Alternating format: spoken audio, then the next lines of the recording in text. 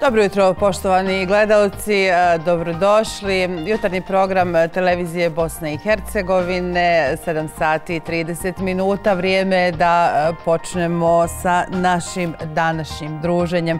Izdanje za četvrtak 23. E, decembar. S vama smo do 10 sati. Aktualne teme, servisne informacije, reporterska javljanja, priče naših reportera sa terena terena. Sve su to sadržaji koji vas očekuju e, do kraja emisije i naravno e, dobra muzika. A evo šta izdvajamo u najavi.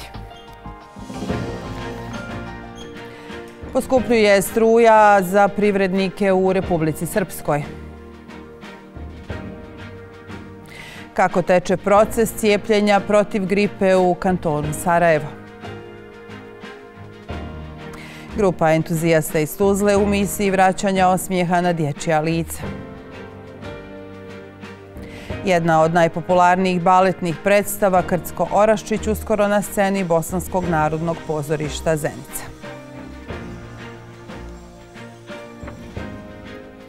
Meteorolozi kažu danas će u Bosni i Hercegovini biti umjereno do pretežno oblačno vrijeme, ponegdje je moguća i slaba kiša, opširnije o vremenu u nastavku.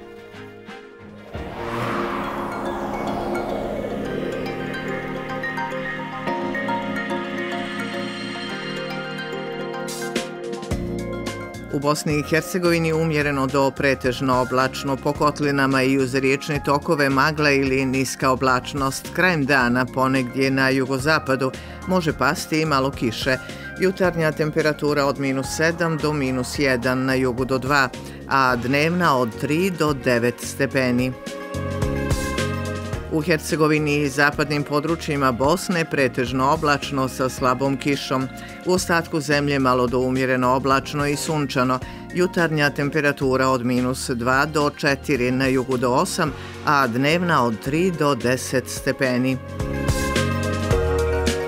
U naredna tri dana u Bosni i Hercegovini umjereno do pretežno oblačno dnevna temperatura do 10 stepeni.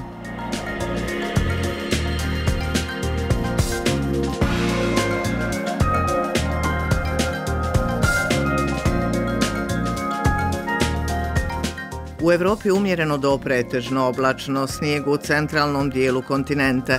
Jutarnja temperatura od minus 9 do 13, a dnevna od minus 8 do 16 stepeni.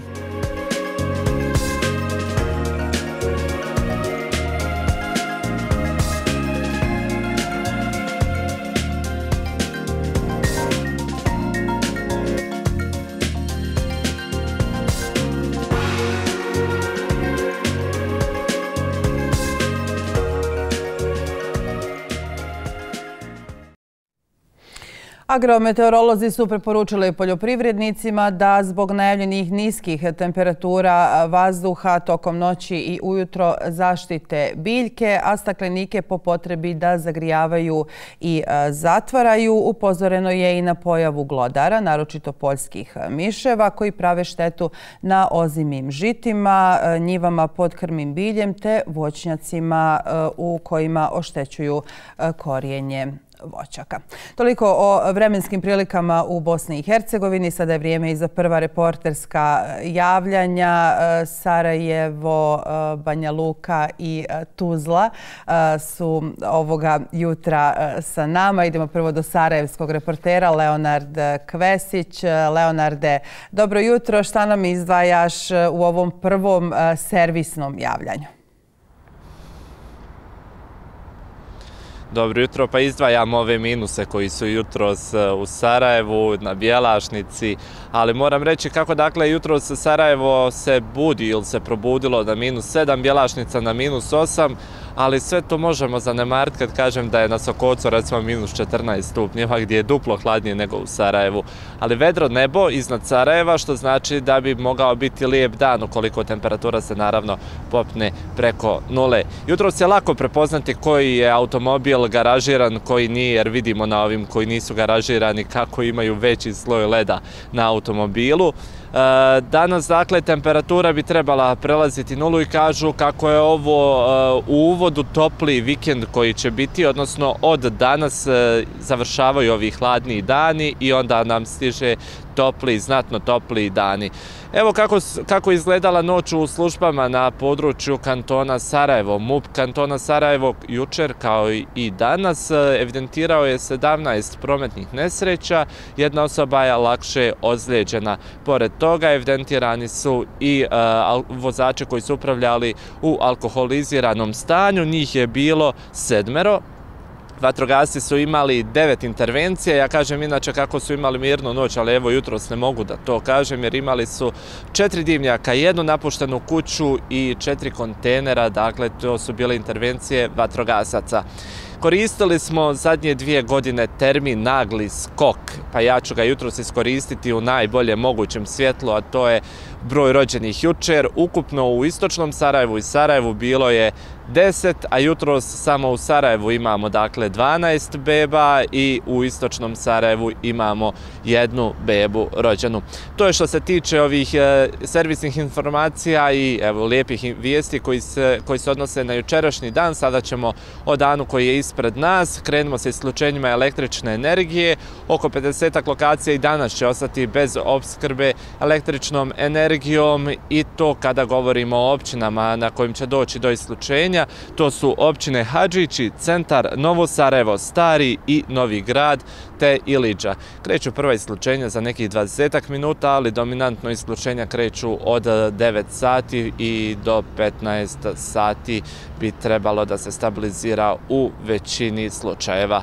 A s druge strane, u vodovodnom sektoru stiglo je važno obavještenje za eh, sve građane Sarajeva, osobito one koji su, recimo, nalaze se u naseljima, koji su trenutno iza mojih leđa, kao što su Ciglane, Košarsko brdo i tako dalje. Dakle, bit će značajn, znatno veći broj isključenja u vodoobskrbi. Ja ću pročitati obavijest e, iz Vika. U sklopu realizacije projekta rekonstrukcije pumpnih stanica koji se financira iz kredita IBRD-a, e, eh, za danas od 8 sati planirani su radovi e, koji će trati 24 sata na zamjeni hidromašinske opreme Ali Pašin most. Dakle, neke od lokacija koje će e, imati e, izmjene u obskrbi vodom su Koševsko brdo, Bare, Šip, Ciglane, Crni vrh i tako dalje i tako dalje. Dakle, 24 sata bi to moglo utjecati na vodoopskrbu u vodoopskrbu na području kantona Sarajevo. Mi se sada odjavljujemo s ove lokacije i javljamo se ponovno ispred Doma zdravlja oko 8 sati i 20 minuta. Svi oni koji žive u navedenim eh, mjestima, u navedenim naseljima, pripremite za alhije vode, treba će vam. Adela! Da ne bude poslije, nismo, nismo znali. E, hvala Leonarde za ovaj istrpan e, prvi izvještaj kada je riječ o servisnim informacijama. Iz Sarajeva idemo u Banja Luku. Daniel Lepir je e, tamo. Daniele, dobro jutro. Šta što nam ti izdvajaš kada je riječ o servisnim informacijama? Dobro jutro iz Banja Luke izdvajam minus 3 stepena Celzijusa u Banja Luci u ovim trenucima. E, meni izuzetno hladno. E, meteorolozi e, najavljuju do kraja dana, odnosno tokom dana, najvišu dnevnu temperaturu oko 5 stepeni Celzijusa. Međutim, sad pred polazak na posao predlažem da se svi toplo obučete. Tokom dana nije najavljeno padavina, dakle, jedan suv dan u Banja Luci je najavljen, čak možemo očekivati tokom dana i E, sunčane e, periode. Još u danu pred nama, kada je u pitanju snabdjevanje grada vodom i električnom energijom, e, najavljeno je da je snabdjevanje grada e, vodom i električnom energijom uredno, s tim da ima određenih E, E, redukcija, pa ću krenuti sa električnom energijom. Iz elektrokrajine je saopšteno da u periodu od 8 do 11 časova zbog radova na elektromreži e, bez električne energije će biti dio naselja Lorka, e, ulica, dio ulice Petra Rađenovića i dio ulice Ranka Šipka. Kada je u pitanju snabdivanje grada vodom, također nam stižu određena, određene najave da će biti prekida u snabdivanju E, grada vodom e, u pojedinim dijelovima ulica. E, tako će u Bitoljskoj ulici od 8 do 18 časova građani povremeno biti bez vode zbog radova na cjevovodu, a isto tako i u ulici Ranka Šipke od 8 do 16 časova. Također građani koji žive dakle, u toj ulici mogu očekivati povremeno prekide u snabdjevanju vodom zbog radova na cjevovodu. U protekla 24 časa na teritoriji grada zabilježeno je šest krivičnih dijela, e, javni red i mir nije narušavan, zabilježeno je i pet saobraćajnih nezgoda. Vatrogasna jedinica e, nije imala e, intervencija u protekla 24 časa, e, dok u službi hitne medicinske pomoći pregledana su 50, pregledano je 59 pacijenata, a obavljeno je i 27 kućnih posjeta. Svakako najljepše informacije nam stižu sa UKC-a, sa klinike za ginekologiju i akušerstvo Republike Srpske u protekla 24 časa obavljeno 13 poroda, e, rođeno 14 beba, e, 10 dječaka i 4 djevojčice. E, to je dakle omjer kada je broj novorođenih beba na području grada Banja Luka u protekla 24 časa. Namo je samo ostalo da svim roditeljima čestitamo i poželimo puno sreće i zdravlja. Eto, za ovo prvo javljanje toliko, mi smo svakako vrlo brzo, dakle odmah nakon e, vijesti ponovo zajedno govorimo o poskupljenju električne energije e, za privrednike na području Republike Srpske. Za sada toliko. Izjednačeni smo po e, broju rođenih beba Banja Luka i Sarajevo istočno Sarajevo zajedno, ali eto Banja Luka ovoga jutra ipak vodi. E, vidimo se, Danijele, mi e, ponovo nešto kasnije kada ćemo govoriti o ovoj zaista aktuelnoj temi u oba bosansko-hercegovačka entiteta, dakle poskupljenje struje za privrednike. Ostalo je još da odputujemo slikom do Tuz Tuzle, do naše Mirele Bektić. E, Mirela, e, dobro jutro. E, šta nam ti izdajaš kada je riječ o servisnim informacijama? Dobro jutro, lijep pozdrav iz Tuzle, iz grada u kojem je trenutna temperatura zraka minus šest i evo moram napomenuti da je prema mjerenjima kvalitet zraka nezdrav, te jedna preporuka svim onim koji imaju hronična oboljenja da reduciraju boravak na otvorenom ukoliko to mogu učiniti.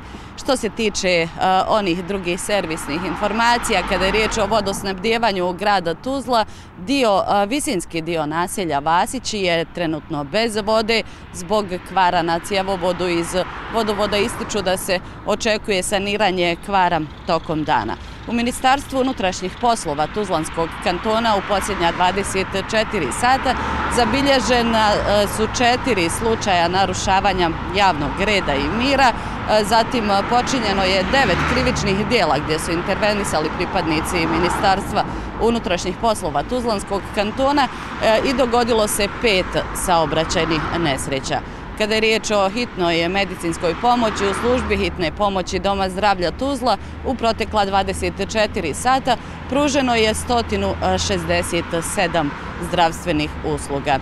Vatrogasi, profesionalne vatrogasne jedinice Tuzla imali su posljednja 24 sata pet intervencija. Ona je pozitivna strana servisnih informacija i ovoga jutra u porodilištu Univerzitetskog kliničkog centra Tuzla rođeno je nešto manje beba nego u Banja Luci, ali nije mnogo manje. Evo rođeno 11 beba, od toga 6 dječaka i 5 djevojčica i svakako evo čestitke roditeljima i od nas.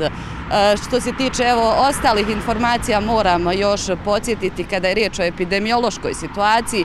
Imali smo priliku jučer e, čuti izlaganje ministra zdravstva Bože Jurića na sjednici Skupštine gdje je kazao da opada broj osoba koji su zaražene koronavirusom te opada broj e, blago hospitaliziranih osoba. Međutim, još uvijek zabrinjava činjenica, odnosno podaci o broju smrtnih slučajeva onih koji su bili pozitivni na virus. Evo što se tiče ovih informacija, toliko iz Tuzle. U drugom dijelu javljanja razgovaramo o svjetlijim temama, o podjeli paketića, o radostima mališana. Novogodišnji praznici, e, vrijeme darivanja, mnogi se zaista trude da učine djecu sretnom u ovo e, doba e, godine. Upravo u jednoj takvoj akciji govorit ćemo nešto kasnije. Bili su ovo, dakle, naši reporteri iz Sarajeva, Banja Luke i Tuzle. Jučer smo u jutarnjem programu govorili opširno o brojnim negativnim posljedicama upotrebe pirotehničkih sredstava i uputili e, apele e, da se suzdržite e, od bacanja petardi, od kupovine petardi i ostale pirotehnike u prvom redu djeci, jer petarde nisu igračke, nisu zabavne i mogu biti izuzetno opasne. U skladu s tim i naredna informacija tiče se Zapadno-Hercegovačkog kantona u cilju sprečavanja neželjenih ponašanja tokom blagdanskog razdoblja. Uprava policije MUPA Zapadnohercegovačkog kantona počela je akciju Mir i dobro, koja će se realizirati do 8. januara. Tokom akcije biće povećana prisutnost policije na javnim mjestima, gdje se okuplja veći broj osoba u cilju odvraćanja od zloupotreba pirotehničkih sredstava te od činjenja drugih prekršaja. Usto vršit će se kontrola e, prometa s naglaskom na najteže prometne prekršaje, kao što su upravljanje motornim vozilima pod uticajem alkohola i bez položenog vozačkog ispita. U saradnji s nadležnim inspekcijama obavljaće se i pojačana kontrola objekata u kojima se vrši prodaja pirotehničkih sredstava. Slijede muzičke minute, a potom idemo u informativni centar Bihamka. Obriši taj, sobra za trag i kreni dalje niz put si odavno sam Ko napušten grad na kiši ogoljen prut. Sumnja i strah Završen spoj da slomi svakog od nas. Zadrži dah Progutaj bol pa dokle čemu sve to.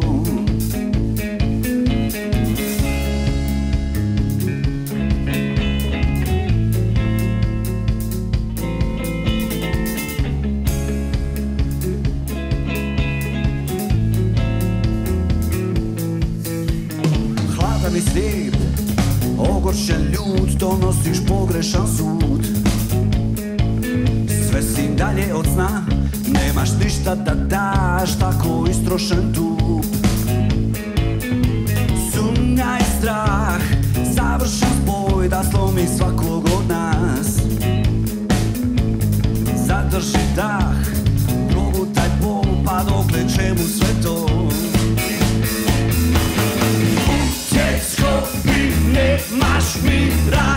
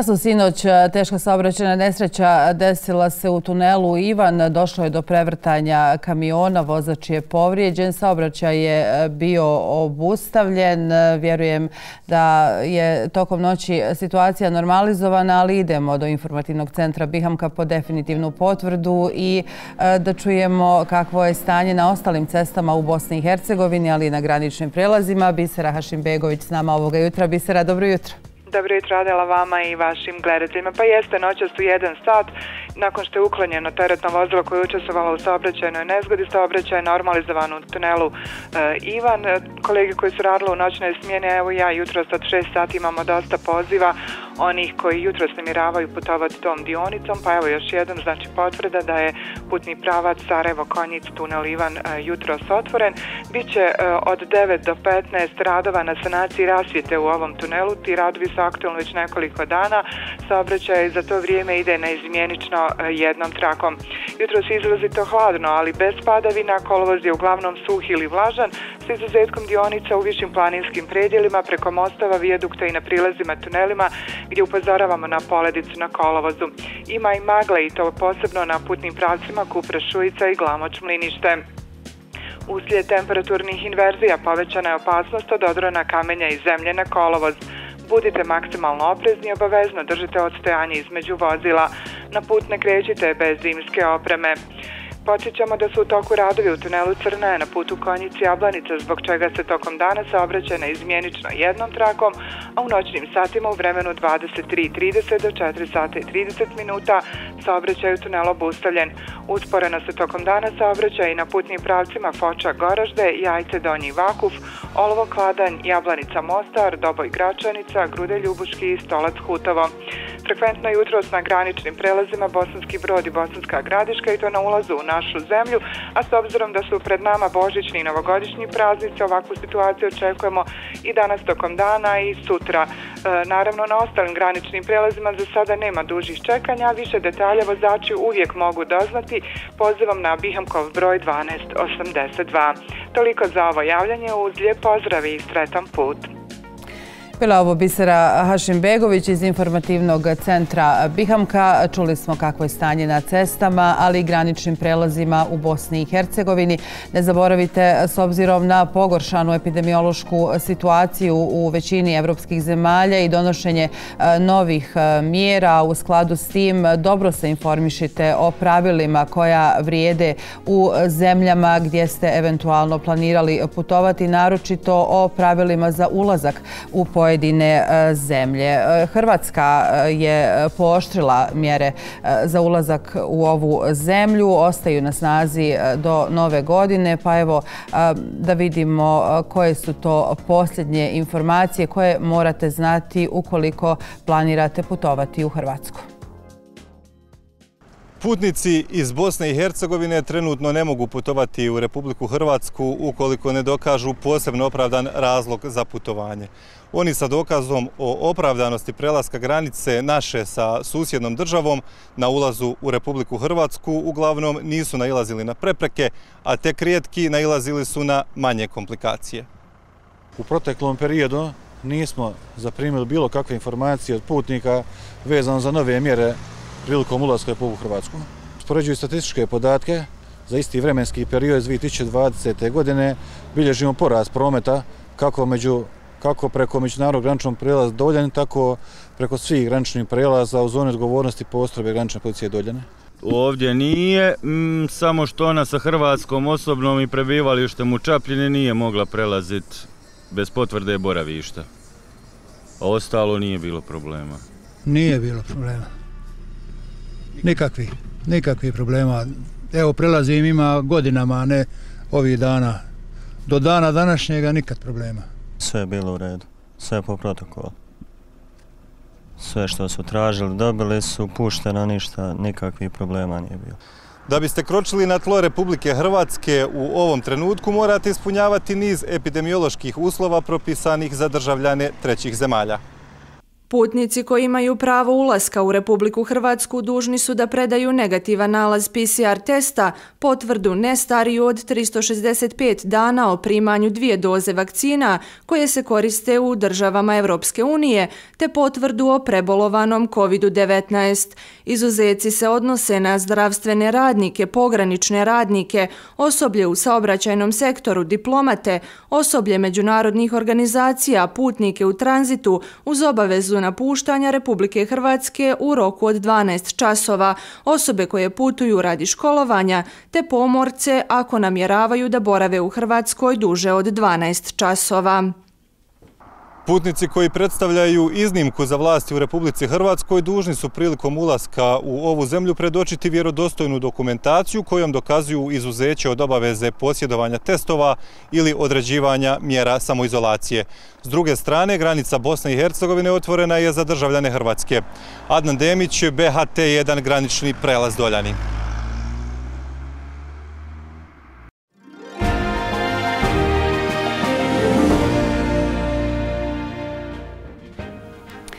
Pregled eh, današnje štampe počinjemo od eh, nezavisnih novina. Tužilaštvo Bosne i Hercegovine izuzima dokumentaciju zbog sjednice Narodne skupštine Republike Srpske o prenosu nadležnosti. Eh, Dodik tvrdi Srpsku žele da sahrane. Britanski gvardijan Briseli za kulisa pokušava pronaći rješenje. Insko snosi odgovornost za krizu u Bosni i Hercegovini. Sipa u akciji PILS pretresla osam lokacija, šestorka u uhapšena zbog nezakonite prodaje e, lijekova. E, nezavisne e, danas pišu i o poskupljenju električne energije za industriju u Republici Srpskoj, a o tome ćemo svakako govoriti i mi kasnije tokom jutarnjeg programa. Nezavisne novine, izdanje za oslobođenje, izdanje za četvrtak, 23. decembar, također piše o akciji SIPE, oduzeta veća količina lijekova, glavni cilj agencije je da pacijent dobije što bolje iskontrolisani lijek, kaže e, Rustemović iz agencije e, za e, lijekove i medicinska sredstva Bosne i Hercegovine. Dodik najavio kraj Bosne i Hercegovine. Poslodavci traže garancije za struju. Juče su zaključili poslodavci u federaciji da neće potpisivati nove ugovore sa elektroprivredom Bosne i Hercegovine dok ne dobiju garancije da struja neće poskupiti više od 20%.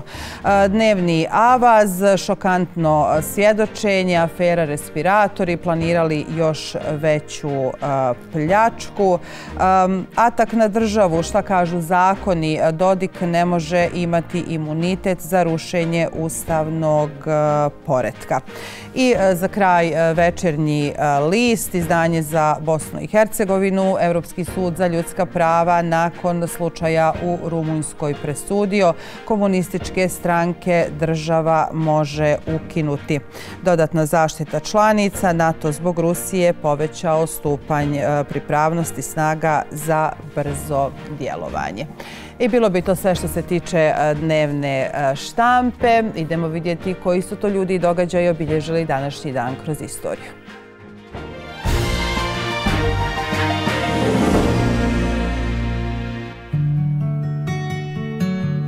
1777. rođen ruski car Aleksandar I Romanov, koji je tijekom vladavine proveo liberalne reforme i teritorijalno proširio Rusiju, pripojivši Finsku i velike dijelove Poljske.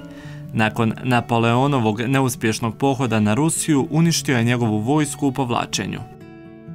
Na današnji su dan pronađeni preživjeli iz zrakoplovne nesreće u Andama. Preživjeli su 72 dana u planinama na visini od oko 3600 metara. Nesreća se dogodila kada je urugvajski avion s 45 putnika i članova posade zbog pogreške kontrolora leta udario u planinu otprilike na granici Čilea i Argentine. Ukupno je preživjelo 16 osoba. Na današnji dan 1990. u Sloveniji održan referendum o neovisnosti. Za samostalnost se izjasnilo 88,2% glasača. Rezultati su bili objavljeni tri dana nakon. Slovenija je proglasila neovisnost u lipnju naredne godine.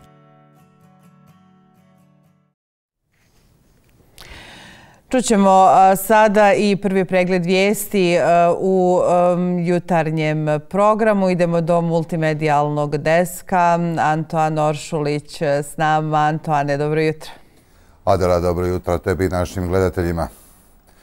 Povodom informacije da SIPA izuzima dokumentaciju iz određenih političkih stranaka u Republici Srpskoj u okviru istrage u predmetu rušenja ustavnog poredka Bosne i Hercegovine, oglasio se i čelnik SNSD-a i član predsjedništva Bosne i Hercegovine Milorad Dodik. Naglasio je kako je riječ o politički motiviranom procesu, ističući da sud i tužiteljstvo Bosne i Hercegovine rade, kako kaže, po nalozima političkog Sarajeva. Protiv ovog procesa, kako je najavio Republika Srpska, branit će se organizirano, te će u roku od mjesec dana imati na dnevnom redu zakone koji će regulirati pravosudni sustav. Republika Srpska će se organizovano braniti. Organizovano znači da ćemo u roku od mjesec dana imati na našem dnevnom redu e, zakone koji će regulisati pravosudni sistem. Ovakav sud i tužilaštvo ne treba nikome, a pogotovo ne treba Republike Srpskoj.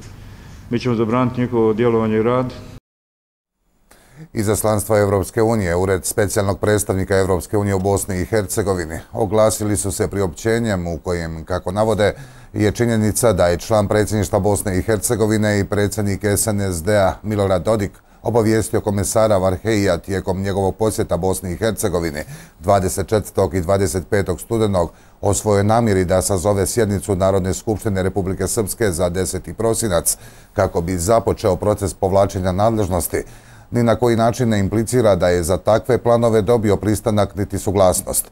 Naprotiv, komesar Varhej je se usprotivio ovim planovima. Iz izaslanstva Evropske unije navode i to kako je Varhej naglasio da bi planovi rukovodstva Republike Srpske za urušavanje državnih institucija udaljili Bosnu i Hercegovinu od usklađivanja sa pravnom stečevinom Evropske unije i stavili evropski put na čekanje. Ističu i da je Varhej pozvao Milorada Dodika da ne poduzima nikakve jednostrane i irreverzibilne korake ka urušavanju institucija na državnoj razini. O mogućim pravcima rješavanja aktualne političke krize u našoj zemlji te otklanjanja zastoja u funkcioniranju državnih institucija, članovi kolegija oba doma parlamentarne skupštine Bosne i Hercegovine razgovarali su sa članovima Kvinte. Fokus predstavnika Kvinte bio je na ispitivanju mogućnosti da u državnom parlamentu bude donesen zakon o zabrani negiranja genocida i ratnih zločina, te svih oblika govora mržnje. Pozvali su i na što skorije formiranje radne skupine koja bi se bavila izradom ovog prijedloga zakona, ali i prijedloga zakona o državnoj imovini, što je sadržaj pisma koje je visoki predstavnik Kristijan Schmidt 3. prosinca uputio parlamentu Bosne i Hercegovine. Premijer Mađarske Viktor Orban posjetit će Bosnu i Hercegovinu 25. siječnja 2022. godine, najavio je član predsjedništva Bosne i Hercegovine Milorad Dodik. Poručio je kako je ponosan na suradnju Republike Srpske i Mađarske i što Republika Srpska može da računa na njihovu pomoć. Podsjećamo, Orban je prethodno potvrdio da će Mađarska Republici Srpskoj dati stotinu milijuna eura financijske pomoći kao dio politike odgovornog susjedstva Mađarske za jačanje stabilnosti u regiji. Govoreći o zahtjevima da se Orbanu zabrani dolazak u Bosni i Hercegovini, Dodik je pitao je li ovo zemlja svih ili samo onih u krugu Sarajeva. Zaključio je da je, kako ga je nazvao, političko Sarajevo izgubilo živce i da napada Srbiju, Rusiju, Sloveniju i Mađarsku.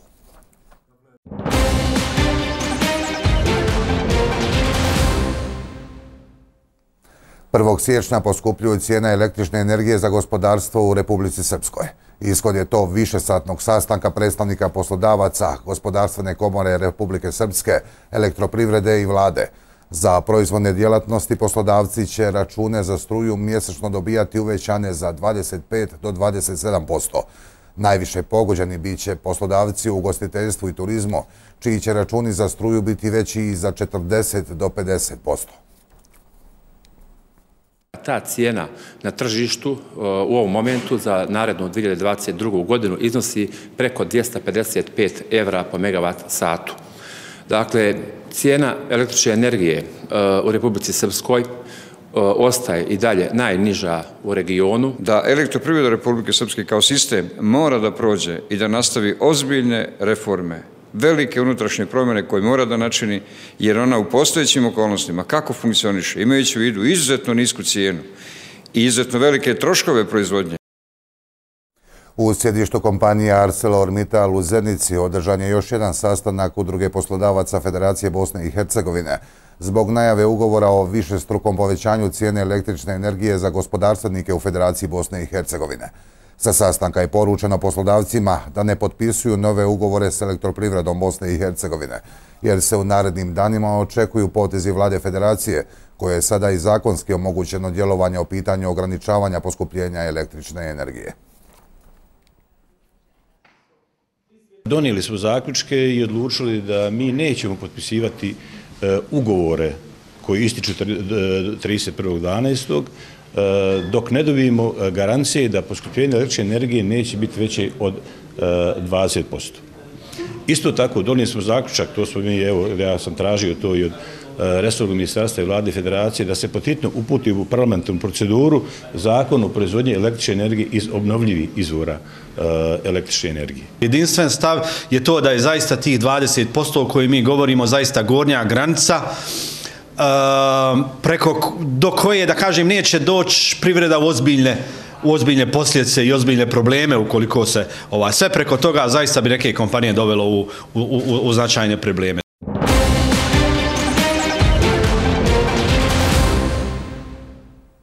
U Bosni i Hercegovini u protekla 24 sata registrirana su 552 slučaja zaraze koronavirusom. Prijavljeno je 18 smrtnih slučajeva. U Federaciji Bosne i Hercegovine je 378 pozitivnih i 10 preminulih. U Republici Srpskoj je 150 novozaraženih i 8 preminulih. U Brčko distriktu Bosne i Hercegovine registrirana su 24 nova slučaja zaraze.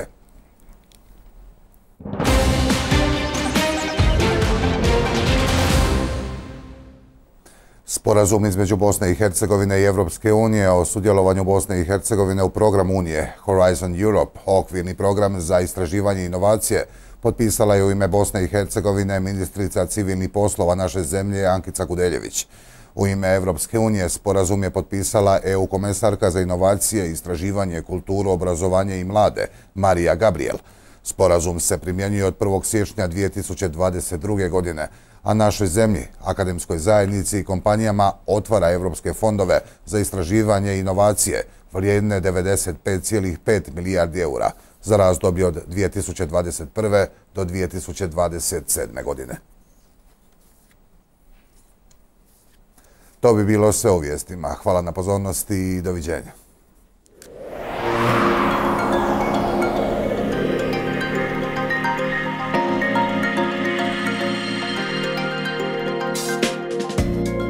U Bosni i Hercegovini umjereno do pretežno oblačno po kotlinama i uz riječne tokove magla ili niska oblačnost. Krajem dana ponegdje na jugozapadu može pasti i malo kiše. Jutarnja temperatura od minus 7 do minus 1 na jugu do 2, a dnevna od 3 do 9 stepeni. U Hercegovini i zapadnim područjima Bosne pretežno oblačno sa slabom kišom. U ostatku zemlje malo do umjereno oblačno i sunčano. Jutarnja temperatura od minus 2 do 4 na jugu do 8, a dnevna od 3 do 10 stepeni. U naredna tri dana u Bosni i Hercegovini umjereno do pretežno oblačno, dnevna temperatura do 10 stepeni.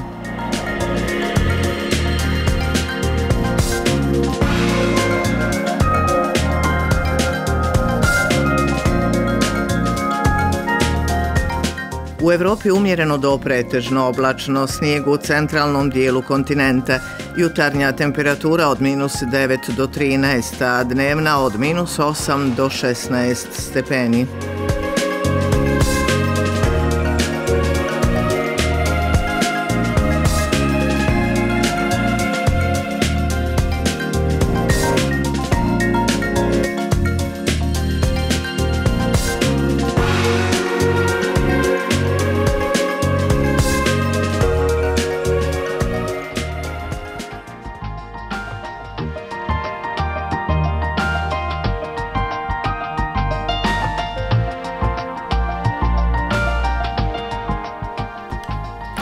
8 sati e, 10 minuta, gledate jutarnji program e, televizije Bosne i Hercegovine. E, do kraja ovog sata druženja govorit ćemo o tome kako teče cijepljenje protiv gripe u kantonu Sarajevo, te o najavljenom poskupljenju struje za privredu u oba bosansko-hercegovačka entiteta. Ostanite uz nas.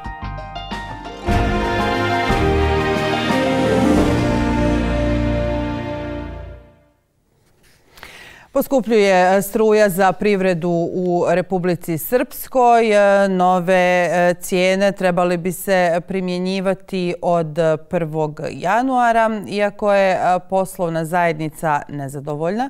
Iz elektroprivrede Republike Srpske poručuju da je cijena struje za privrednike najniža u regionu. Više o ovoj temi u nastavku će Daniel Lepir. Daniele, pozdrav pozdrav još jednom iz Sarajeva. Dobro jutro iz Banja Luke. Nova cijena po megavat času eh, za privrednike u Republici Srpskoj je 53 evra. E, to je dakle e, juče saopšteno i dogovoreno nakon e, sastanka u zgradi vlade Republike Srpske. Na sastanku su bili predstavnici vlasti, predstavnici elektroprivrede, predstavnici Privredne komore Republike Srpske, ali i predstavnici poslodavaca. Mi se ovim trenucima nalazimo u Privrednoj komori Republike Srpske. Sa nama je predsjednik Privredne komore Pero Ćorić. Želim vam dobro jutro i dobrodošli u naš program. Dobro jutro, bolje vas našao i pozdrav za gledalce BHT1.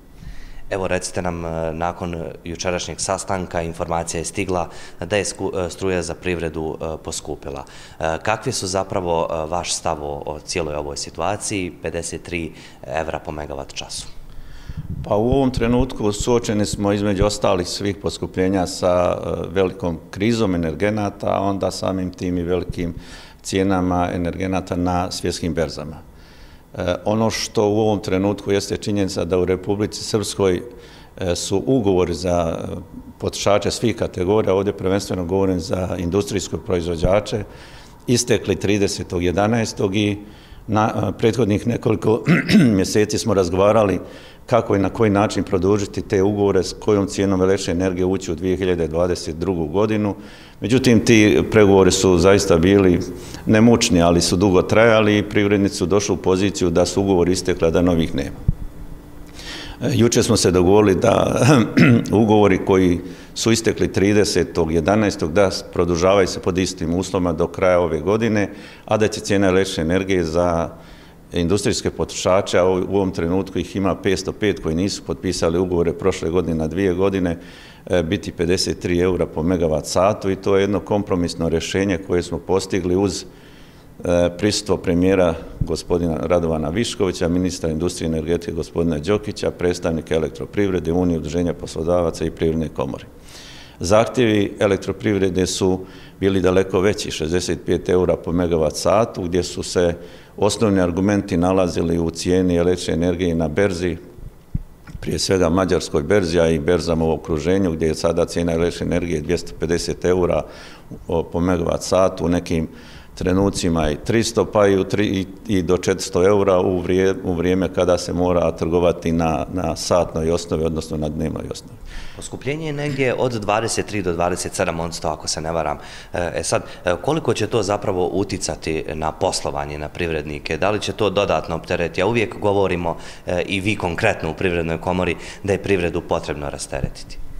Naravno da će svaki trošak koji se javlja u proizvodnji mora biti ukalkulisan u cijenu proizvoda i on će dodatno opteretiti samo poslovanje. Ta cijena od 25 do 27 eura, od 27% o kojem ste govorili, to će zavisiti od e, količine potrošene energije u samom privrednom subjektu.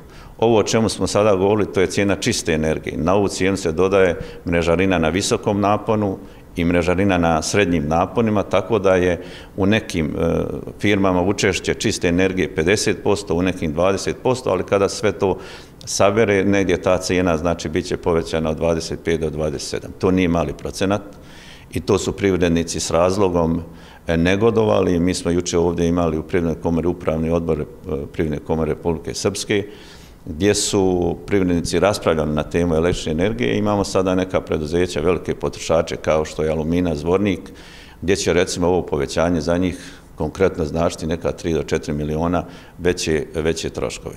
Naravno, i ostali će svi imati od, ovaj, otežane uslove poslovanja i to nigdje nema preliti ovaj, nego u cijenu proizvoda. Kako će i ko i na koji način moći prodati takav proizvod, to je sada drugo pitanje. E, da li to sad znači e, da će i građani osjetiti poskupljenja osta, recimo životnih namjernica, nekih e, stvari zapravo, e, evo, proizvodnja hljeba, definitivno može se očekivati poskupljenje?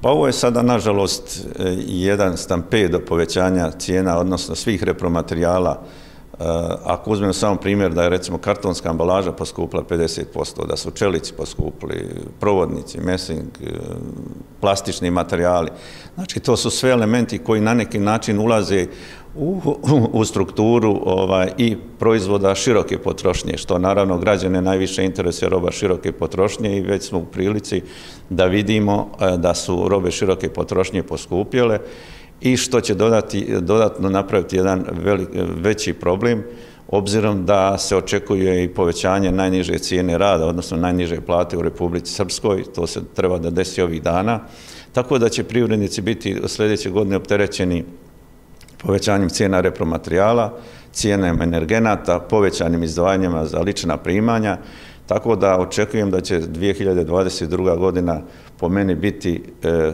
ako ne bolja, ali sigurno vrlo, vrlo teška, možda čak i, i, i teža nego što je bila 2021. E, dakle, ne predviđete nam baš e, lijepu godinu?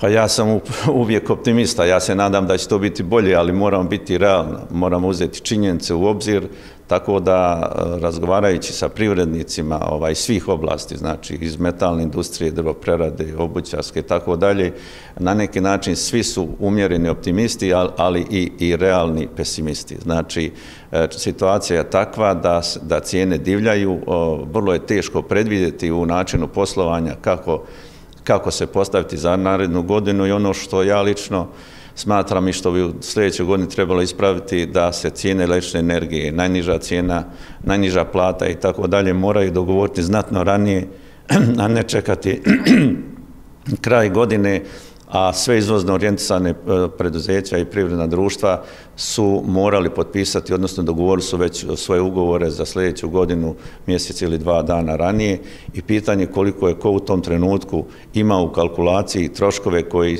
tada nije znao ili nije mogao kvalitetno predvidjeti, tako da može i to biti jedan od rizika poslovanja u sljedećoj godini.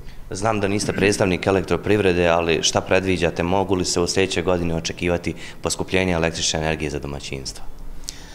U ovom trenutku najave su da neće biti poskupljenja i računam da do sljedeće godine, obzirom da je izborna godina, da cijena električne energije za domaćinstva neće rasti, ali objektivno cijena električne energije za domaćinstva je niska ovaj, i najniža u okruženju a mislim da bi tu, evo lično moje neko mišljenje, da bi imali, trebali imati neku zaštitnu kategoriju, možda 200, 300 ili ne znam nija koliko kilovata da bude sa nekom nižom cijenom, odnosno ta zaštitna kategorija, neko ko troši daleko više, ko se grije na električnu energiju, ko zagrijava bazene ili tako dalje, taj ko više troši, taj bi trebao biti neka druga grupa i plaćati daleko veću cijenu električne energije jer e, nije logično da, da je cijena e, električne energije tako niska za takve vrste potrošača za razliku recimo od privrede ili nekih drugih djelatnosti. E, gospodine Ćoriću, hvala vam za izdvojeno vrijeme, hvala što ste bili gost jutra za sve BHT1. Hvala vama i svako dobro. Eto, dakle, poštovani gledalci, e, čuli ste, e, poskupila je struja za privredu, e, cijena po megavat času od 1. januara, dakle, prema novim ugovorima koji će privrednici potpisati, iznosit će 53 evra. Čuli ste i razgovor, nisu nam baš najbolja predviđanja kada je u pitanju, kada su u pitanju cijene, moglo bi, dakle, se očekivati i povećanje cijena robe u širokoj potrošnji potrošnji. E, eto, ne baš sa lijepim informacijama ovog jutra, nadam se da ćemo sutra donijeti malo pozitivnije informacije. E, za sada iz Banja Luke toliko, ponovo smo zajedno sutra. Evo naš e, reporter Daniel Lepir govorio o e, poskupljenju struje e, za privredu u Republici Srpskoj. Slična situacija i u Federaciji Bosne i Hercegovine. Najavljeno poskupljenje struje jedna od top tema proteklih dana. Udruženje poslodavaca Federacije BiH preporučilo je poslodavcima da ne potpisuju nove ugovore sa elektroprivredom Bosne i Hercegovine. Traže garancije garanciju da poskupljenje struje neće biti veće od 20%. Sve drugo bi tvrde privredu bacilo na koljena i dovelo do većeg otpuštanja radnika. Od resornog ministarstva i vlade zatraženo je i da podhitno u parlamentarnu proceduru upute zakon o proizvodnji električne energije iz obnovljivih izvora.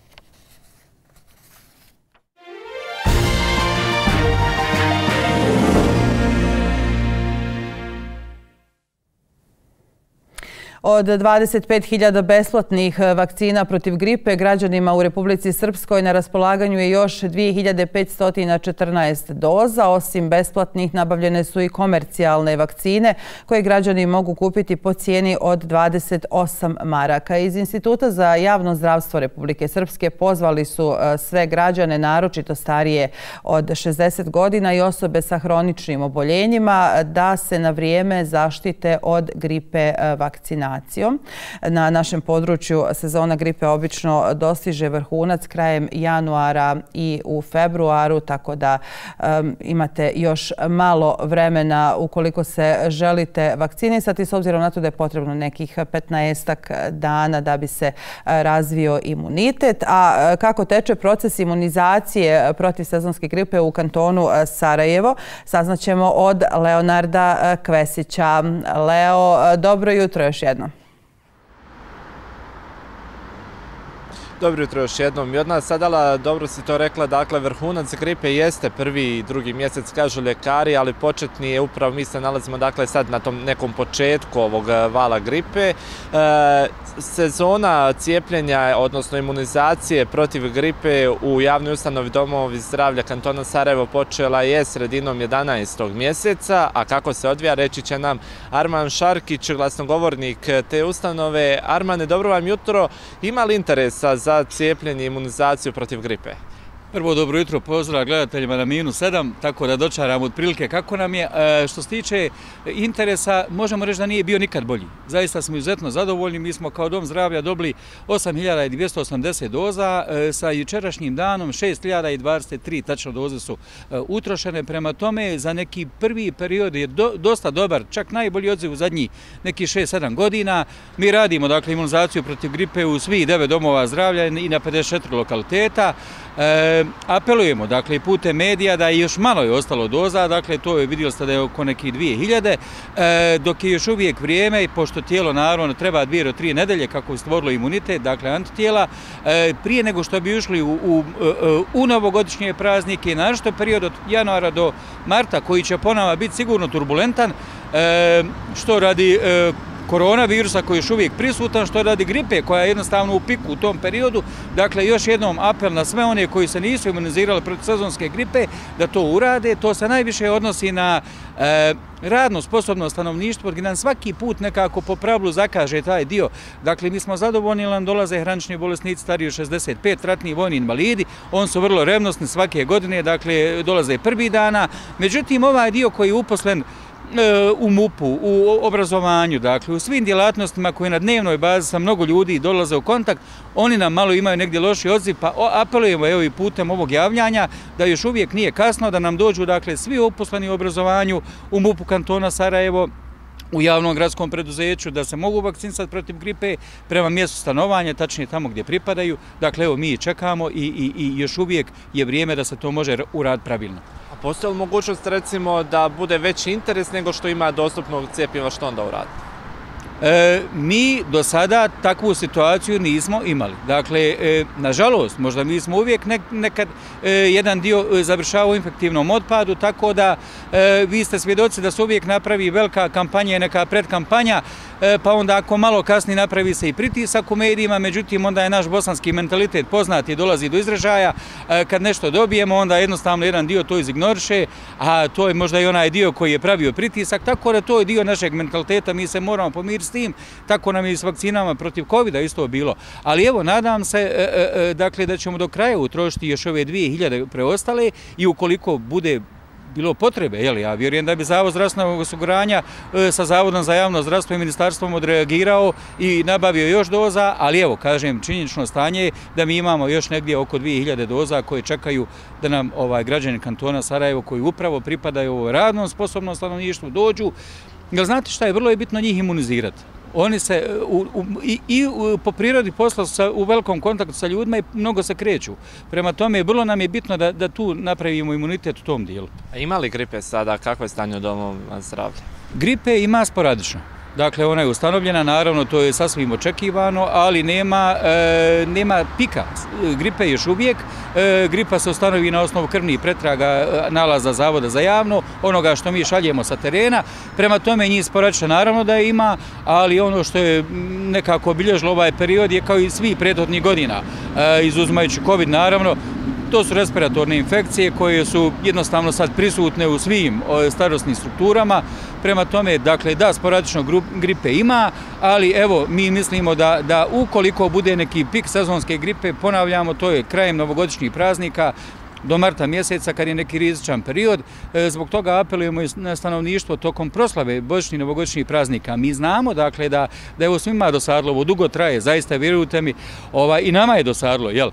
Ali, ali e, nemojte da prokockamo ovako dobar rezultat sportskim žargonom, jer mi imamo poprilično e, zadnji mjesec, dva, dakle imamo e, e, jednostavno e, e, za, taj ravni dio pandemijske krive dosta dobro se drži na optereće zdravstveni sistem. Mi kao kanton Sarajevo, dakle imamo već preko 53% imunizirani od covid što je e, za uslove u kakvim jesmo velika pobjeda, znate, mislim, nije stvar da budemo na lovorkama, ali je 53% u odnos na ostatak federacije, koji je oko 24% i Republiku Srpsku, zaista veliki procenat. E, mislim da se čak mirimo sa Zagrebom i Beogradom u tom kontekstu koji su mnogo prije imali vakcine, imali su mnogo bolje mehanizme e, po pitanju COVID-a, tako da molimo građane kantona Sarajevo da e, ko se nije e, vakcinsao protiv koronavirusa, da i to još uvijek se može uraditi svi deve domova zdravlja. Imamo jedan solidan dakle, procenat procijepljenosti, on nije dvije trećine koji bi bio kolektivna imunizacija, To je velika želja svi u nas, ali taj broj je mahom za zemlje. Mnoge nedostižan, izuzev za skandinavske države koji imaju jedan visok stepen svijesti, mi nažalost to nemamo, ali evo kažem da je kanton Sarajevo jedan dobro, dobro, dobar i svijetal primjer procijepljenosti, tako da i tu nam stvari prilično dobro idu i mislim da je ova pandemijska kriva koja je prilično stabilna sigurno dobrim dijelom rezultat i, i procijepljenosti stanovništva i protiv COVID-a. Utjecalo je sigurno pandemija i na to što ste rekli vi na samom početku da e, je proces imunizacije na sezonsku gripu znatno veći nego inače. Sjećamo se dakle prošle godine znatan dio e, cijepiva je otišao u medicinski otpad. Tako je, tako da, e, znate, nama je vrlo bitno na terenu, ukoliko ste cijepljeni protiv sezonske gripe, e, e, dakle, ipak ljekarima i sestrama olakšava na terenu u smislu determinisanja virusa. E, tako da su i građani kantona Sarajevo spoznali da postoji i strah, prirodno je, dvije godine ovo traje, vjerovatno i taj strah na neki način ajde da kažemo, bio ovaj galvanizator, okidač ovih stvari, što je nama iz ugla ove struke kojim se mi bavimo dobra stvar negdje. Dakle, strah ne koji vas blokira, ali strah koji vas poziva na akciju i na jedan oprez je dobar strah, dakle kontrolsani. Prema tome imamo vjerovatno i upravo ste da je radi covid e, stepen svijesti je zaista na jednoj dosta višoj razini i mi moramo neko priznat građanima kantona Sarajevo i odajemo im dakle zahvalnost s da su dosta dobro sarađivali cijelo vrijeme sa zdravstvenim sistemom na početku je bilo teško jer cijela planeta je bila zatečena, nismo mnogo znali stvari, jel?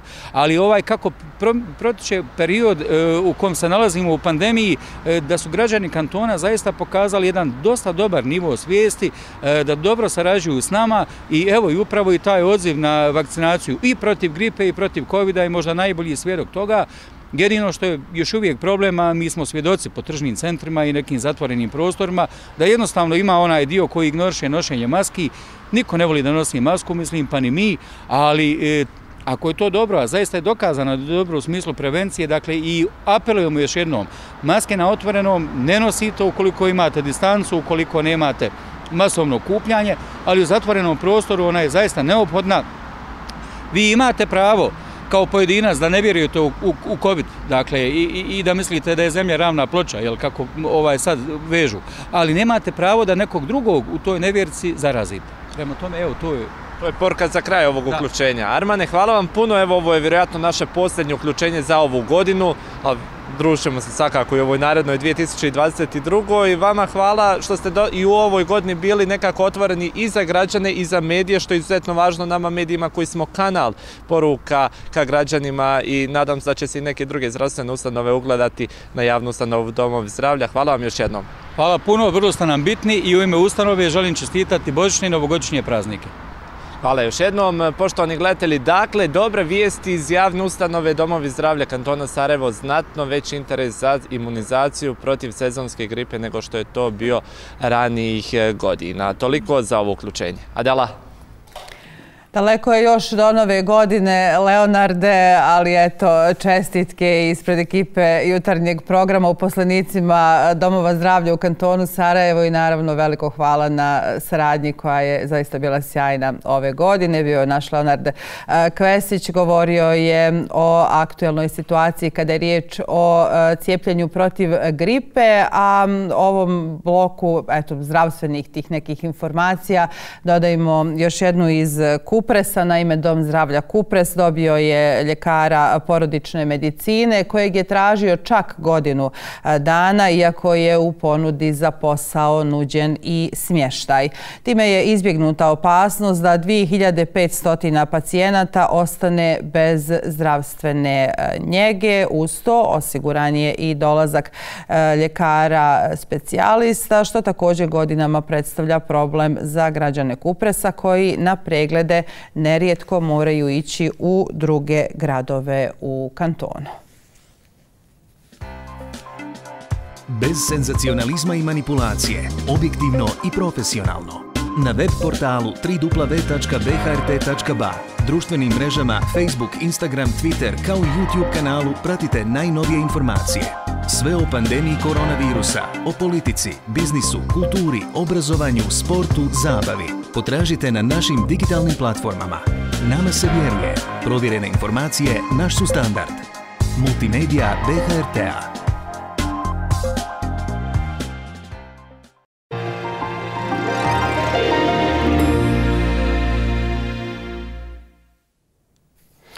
8 sati i 32 minute. Od ovog trenutka smo u zajedničkim minutama jutra za sve. E, poštovani slušalci BH Radije 1 i gledalci BHT 1, pratite kombinovani radijski i e, televizijski e, program jutra za sve. Mi ćemo sada slikom do radijskog studija jutarnjeg programa gdje je jutro s koleginica Vilmana Muhidinović koja će govoriti o e, promociji Vijeća za rodnu ravnopravnost Univerziteta u Sarajevu koja će biti upriličena danas. Filmana, dobro jutro, pozdrav iz televizijskog studija. Dobro jutro Adela, tebi i svima koji su ovog četvrtka s nama. Uvođenje robne perspektive, rodne perspektive u visoko obrazovanje je prvi projekat ove vrste u Bosni i Hercegovini regiji koji se bavi pitanjima ravnopravnosti spolova i rodno zasnovanog nasilja. O projektu, ali i promociji Vijeća za rodnu ravnopravnost govorimo danas. Gošća jutra za sve je profesor dr. Jasna Kovačević sa Ekonomskog fakulteta u Sarajevu.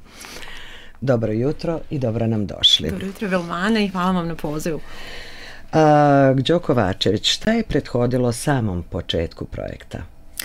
Projekat je u stvari rezultat e, dugogodišnje saradnje eksperata i ekspertica u oblasti rodne ravnopravnosti i ljudskih prava, tako da je u stvari i rezultat naše dugogodišnje saradnje ujedno i Unigem projekat kojeg implementira TPO fondacija na čelu sa profesorcom doktoricom Zilkom Spahić-Šiljak, a ovaj projekat podržava Britanska ambasada u Sarajevu, tako da je ovo u stvari jedna dugogodišnja saradnja koja je zaokružena i krunisana ovim projektom koji ima za cilj urodnjavanje e, politika na univerzitetima, odnosno visokoškolskim institucijama kako bismo stvorili rodno ravnopravne sredine u kojima i muškarci i žene imaju jednake prilike za napredovanje i za razvijanje društva. E, kada je, kada je rađeno istraživanje za ovaj projekat, koje ste odgovore najviše dobili? Šta je e, zapravo rodno zasnovano nasilje? Istraživanje je još uvijek u toku e, na svih ovih 17 univerziteta u regiji, odnosno na Zapadnom Balkanu, tako da ćemo rezultate imati vrlo brzo i prezentirat ćemo ih širo javnosti kroz konferenciju koju planiramo da održimo početkom naredne godine, ali ono što već sada možemo na neki način da preliminarno zaključimo je jeste da postoji fundamentalno nerazumijevanje šta u stvari rodno zasnovano nasilje jeste i naš cilj je bio da kroz ovo istraživanje u stvari mapiramo kakva je situacija, pogotovo kada su u pitanju stavovi i percepcije i mladih ljudi na univerzitetima, ali i akademskog i administrativnog osoblja na univerzitetima. Dakle, rodno zasnovano nasilje je tema koja je sve prisutna u našim društvima, u Bosni i Hercegovini je također jedan od gorućih problema, a posebno je važno govoriti o rodno zasnovanom nasilju nasilju, pogotovo u kontekstu različitih situacija koje su se dešavale u proteklo vrijeme, imajući u vidu i važnost nisam tražila pokreta koji upravo progovorio o ovim problemima i u akademskoj zajednici. Da li su univerziteti upućeni šta znači rodno zasnovano nasilje? Ovo je dobar početak kroz ovaj projekat da e, konkretnije preciziramo u stvari određene korake koji će adresirati problem rodno zasnovanog nasilja. E, ne bih se usudila reći da ne postoji e, neka doza znanja, ali definitivno tu postoji prostor za unapređenje. Dakle, rodno zasnovano nasilje nije jedan homogen koncept. Dakle, on ima više svojih pojavnih oblika i o njemu je je vrlo važno educirati kako studente i studentice, tako i nastavno i administrativno osoblje u akademiji, naravno i širu društvenu zajednicu. E, meni je drago da je Univerzitet u Sarajevu zaista prepoznao značaj jednog ovakvog projekta i kroz ovaj projekat ćemo mi u stvari da e, i počnemo razgovarati e, o ovoj temi nešto otvorenije, a početi i razgovarati i držati ovu temu prisutnom i u javnom diskursu kako bismo u stvari i ostale građane i građanke potakli na razmišljanje, u stvari na mijenjanje percepcija i kada su u pitanju rodni stereotipi, ali isto tako kada je u pitanju problem rodno zasnovanog nasilja. Unigem okuplja uh, ukupno 17 univerziteta, što nije mali broj. Uh, sa onima koji predaju i pohađaju te univerzitete, prije svega kako su reagovali univerziteti nadležni na ideju da se pokrene ovaj projekat u Bosni i Hercegovini? Mi smo imali podršku, odnosno imamo podršku našeg rektora, profesora Škrijelja eh, i svih prorektora i prorektorica, tako da eh, zaista smo jako, jako sretni eh, što takvu podršku imamo na način da ćemo moći ovaj projekat realizirati, odnosno nastaviti u naredne četiri godine i u toku te četiri godine koliko je predviđeno trajanje projekta imamo jako puno zadataka, jako puno obaveza. Ono što je jako važno u tom kontekstu jeste da e, ljudi koji vode univerzitete zaista imaju sluha za ovaj problem i oni su spremni da se ova, ovom problemu otvoreno govori, odnosno da se aktivno radi na urodnjavanju politika i ljudskih resursa i generalno politika e, u visokom obrazovanju što je veoma značajan iskorak, pogotovo kada e, sve stavimo u kontekst evropskih integracija, odnosno mobilnosti naših nastavnika i nastavnica s jedne strane i studenta i studentica s druge strane. Dakle, e, problem rodno zastovanog nasilja je problem koji e, se dešava na globalnoj razini, u Bosni i Hercegovini također zastupljen, a na ovaj način otvaramo u stvari dijalog i e, želimo potaknuti i mlade ljude i naše nastavnice i nastavnike, odnosno istraživači i istraživačice, da se i kroz nauku i akademski pristup bave ovim problemom kako bismo zajedničkim snagama u stvari pokušali adresirati one najproblematičnije tačke i kako bismo mogli na vrijeme djelovati. Koju vrstu edukacije planirate uvesti u visokoškolske obrazovne institucije da bi svi postali svjesni i upućeni o ovoj vrsti nasilja? Hvala vam za to pitanje, to je izuzetno važno spomenuti ovom prilikom. Kroz Unigem projekat, ali i kroz univerzitetske aktivnosti imamo u planu da organiziramo niz radionica za nastavno i nenastavno osoblje. Hvala vam što ste odvojili vrijeme i što ste bili gošća jutra za sve. Nadamo se da ćemo imati priliku da se opet porazgovaramo o ovom projektu i da možda saslušamo mlade ljude koji e, šta imaju da nam kažu. Sasvim sigurno, bilo bi mi zadovoljstvo da i oni dođu.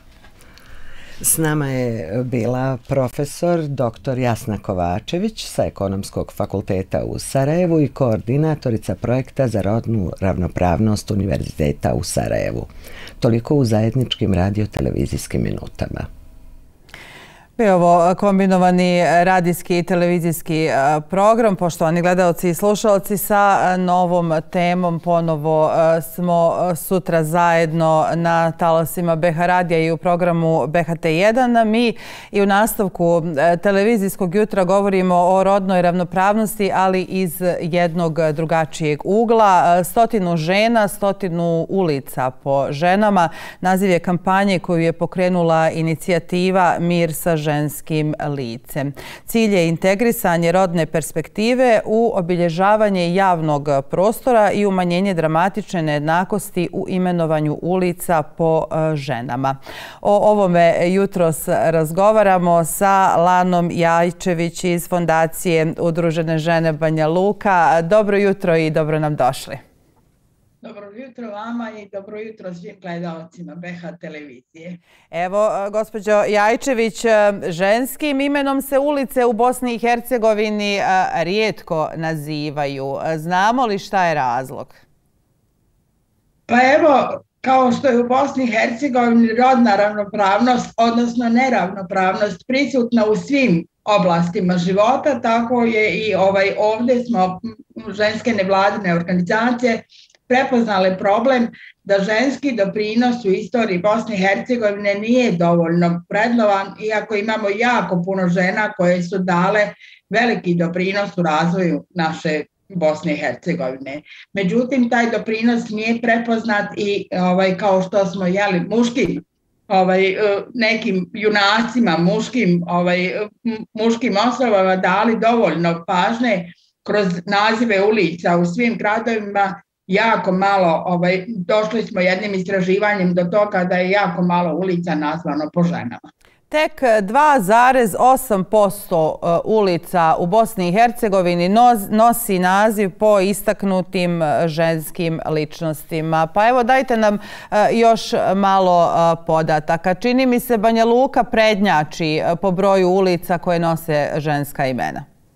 Pa Banja Luka prednači, mada i u Banja Luci, Banja Luka je kao i Sarajevo veliki grad, jeli, kao i Mostar, ali nismo, ovaj, e, nema dovoljen broj ulica na, naziva po ženama i zbog toga smo odlučili da kroz ovu inicijativu jeli, taj, taj doprinos žena malo više istaknemo. Mi smo u Banja Luci, najme 14 nevladnih organizacija, pretežno ženskih, smo ovaj radili jedno istraživanje u brojnim lokalnim zajednicama u Bosni i Hercegovini i kao rezultat tog istraživanja izašla je jedna ovaj jedna knjiga koja se zove 100 žena ovaj e, i 100 ulica po ženama. U tim lokalnim zajednicama kolekcije iz nevladnih organizacija istraživačite istraživačice su utvrdile kakvo je stanje i ove odlučile smo da svaka u svojoj lokalnoj zajednici predamo inicijativu za promjenu ili ovaj promjenu ili davanje naziva novih nekih ulica, gradovi se šire, jel, mjesta se šire i u tom smislu smo ovaj predali inicijative. Mi u Banja Luci smo ovaj kolekcije iz Helsinskog parlamenta građana i udružene žene smo 26. novembra u okviru ove kampanje 16 dana aktivizma protiv rodno zasnovanog nasilja predale gradskoj upravi inicijativu da Banja Luka ovaj, dobije e, e, dvije dve ulice po, po ženama, to je Vahida Maglajlić, e, ona je heroina, ratna heroina iz drugog svjetskog rata, Banja Lučanka. Vahida je imala već svoju ulicu u Banja Luci, ali... Jeste, pa je naravno tokom rata ovaj, ta ulica netragom nestala iz dobro znanih razloga. Ovaj, a, a za drugu inicijativu smo se odlučili, odnosno za drugu ulicu smo se odlučili, to je gospođa Mira Keslić koja je bila prva direktorica Dječjeg doma za ratnu siročad posle ovaj, drugog svjetskog rata, žena koja je jako puno sebe dala u, u odgoju ovaj, djece bez roditeljskog staranja. I um, recite mi kakav je odgovor na, na te inicijative koje su uh, do sad upućene? Pa mi smo inicijativu ove godine prvi put predali i očekujemo odgovor. Predali smo je, kažem, 26. novembra, dakle očekujemo odgovor od gradske uprave mi nismo ni očekivali da će se to desiti sad u, u roku od, od mjesec, dva dana, ali smo ovaj, naravno predali tu inicijativu sa, sa željom da se u najskorije vrijeme ovaj to nešto promijeni. Očekujemo odgovor, još ga nismo dobili, ali ovaj nadamo se i dalje ćemo istrajati na, na tim inicijativama u lokalnim zajednicama. U ovoj knjizi smo ovaj, u sto žena, u sto ulica po ženama, ovaj, do sad imamo ta knjiga brošura će dobiti novo izdanje. Uspjeli smo da skupimo ovaj, jeli, doprinos 77 žena iz ovaj, cijele Bosne i Hercegovine, ali ovaj, nastavit ćemo i dalje sa istraživanjem i sa radom. Sigurno u lokalnim zajednicama ovaj, postoji puno žena u istoriji Bosne i Hercegovine koje su zaslužile da imaju na neki način svoje obilježje. E sad rekli smo već, dakle, u Banja Luci 43 ulice, ja ću reći ženske ulice, u Sarajevu ih ima 18, u Mostaru jedna, u e, Zenici e, dvije. E sad, pripremajući se za ovaj razgovor, čitala sam jedan tekst koji su radile kolege sa Radija Slobodna Evropa upravo o ovoj temi i razgovarali su sa građanima Sarajeva. E, malo njih je zapravo i znalo da, da nabroji ulice e, koje se zovu po, po ženama u, u njihovom gradu. Lana, generalno, e, zašto čini se da, da možda se i ne čini, da malo pažnje poklanjamo svim tim sjajnim, zaslužnim ženama koje su e, bile vrlo često i pokretači mnogih promjena u Bosni i Hercegovini. E, jako malo pažnje, jako malo ih se spominje. E, zašto je to tako? Pa mogu vam reći da, da je ovaj Bosna i Hercegovina, svi gledatelji ovaj BH televizije to većinom i znaju, dosta patriarhalno društvo. Mi smo tokom istraživanja za ovu brošuru ovaj, o, o 100, 100 žena, 100 ulica po ženama, ovaj, e, jako teško dolazili do informacija, čak i, i ono što je nekad postojalo ovaj, u nekim arhivima, kao da je netragom nestalo. Jako smo teško došli do, do podataka o tim sjajnim ženama koje su tako puno dale za, za, ovaj, za svoje lokalne zajednice i generalno za, za ovaj, kroz istoriju Bosne i Hercegovine. Nažalost, to je vjerovatno rezultat patriarhata koji je danas poprilično snažno na, na sceni, nažalost, I naša uloga je nevladnih ženskih organizacija ta da, da tu situaciju malo promijenimo na bolje. Evo, kroz ovakve kampanje i kroz ovakve ovaj, silne napore što, što želimo da, da doprinos žena negdje bude vrednovan i prepoznan. Kako građani mogu eh, podržati ovu vašu inicijativu? U svakom slučaju ovaj, možemo sa, sa građanima kroz ove različite naše kampanje, kroz ovaj, ulične naše akcije, u svakom slučaju poznajemo građane.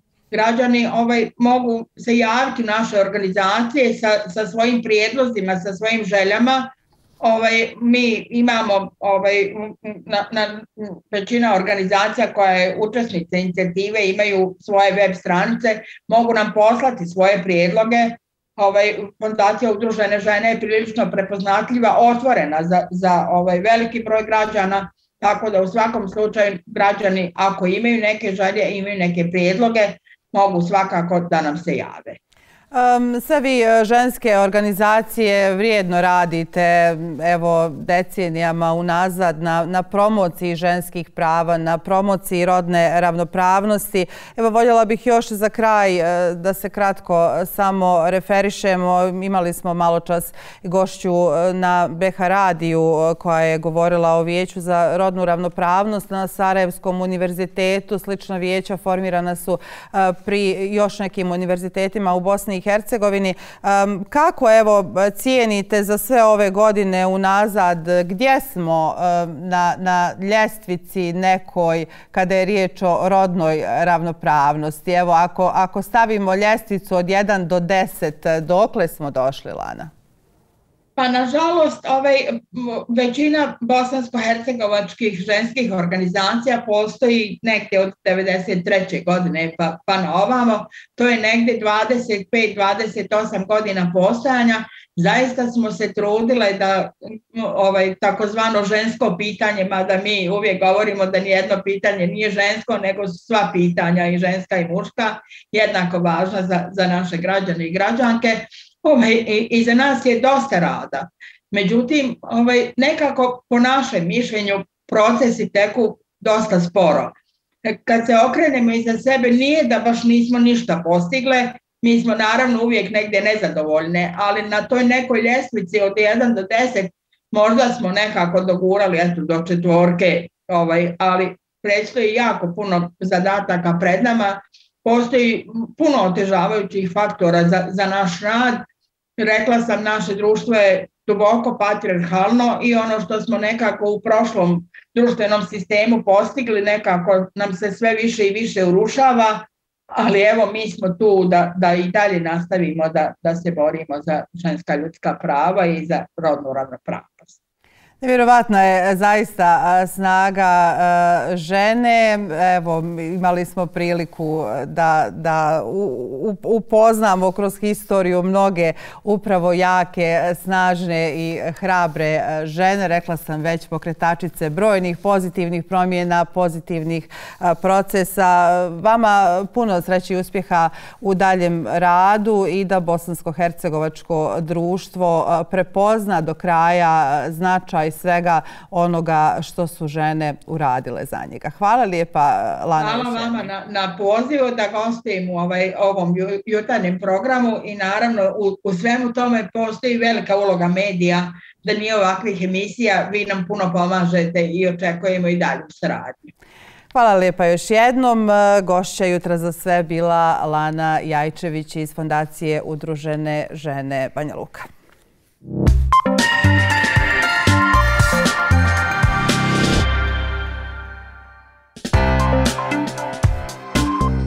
U programu BHT1 gledajte Dnevnik 1.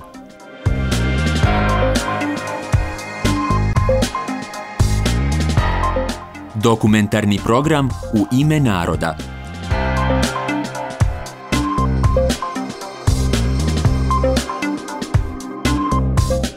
BHT1 uživo.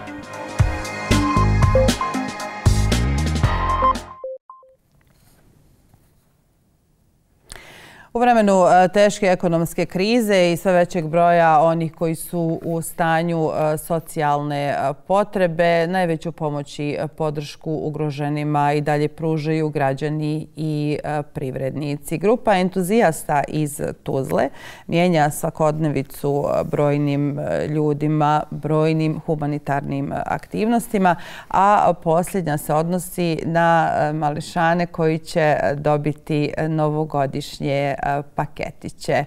E, više detalja o ovoj e, divnoj akciji u nastavku će nam dati naša Mirela Bektić. Mirela, pozdrav još jednom iz e, Sarajevskog studija.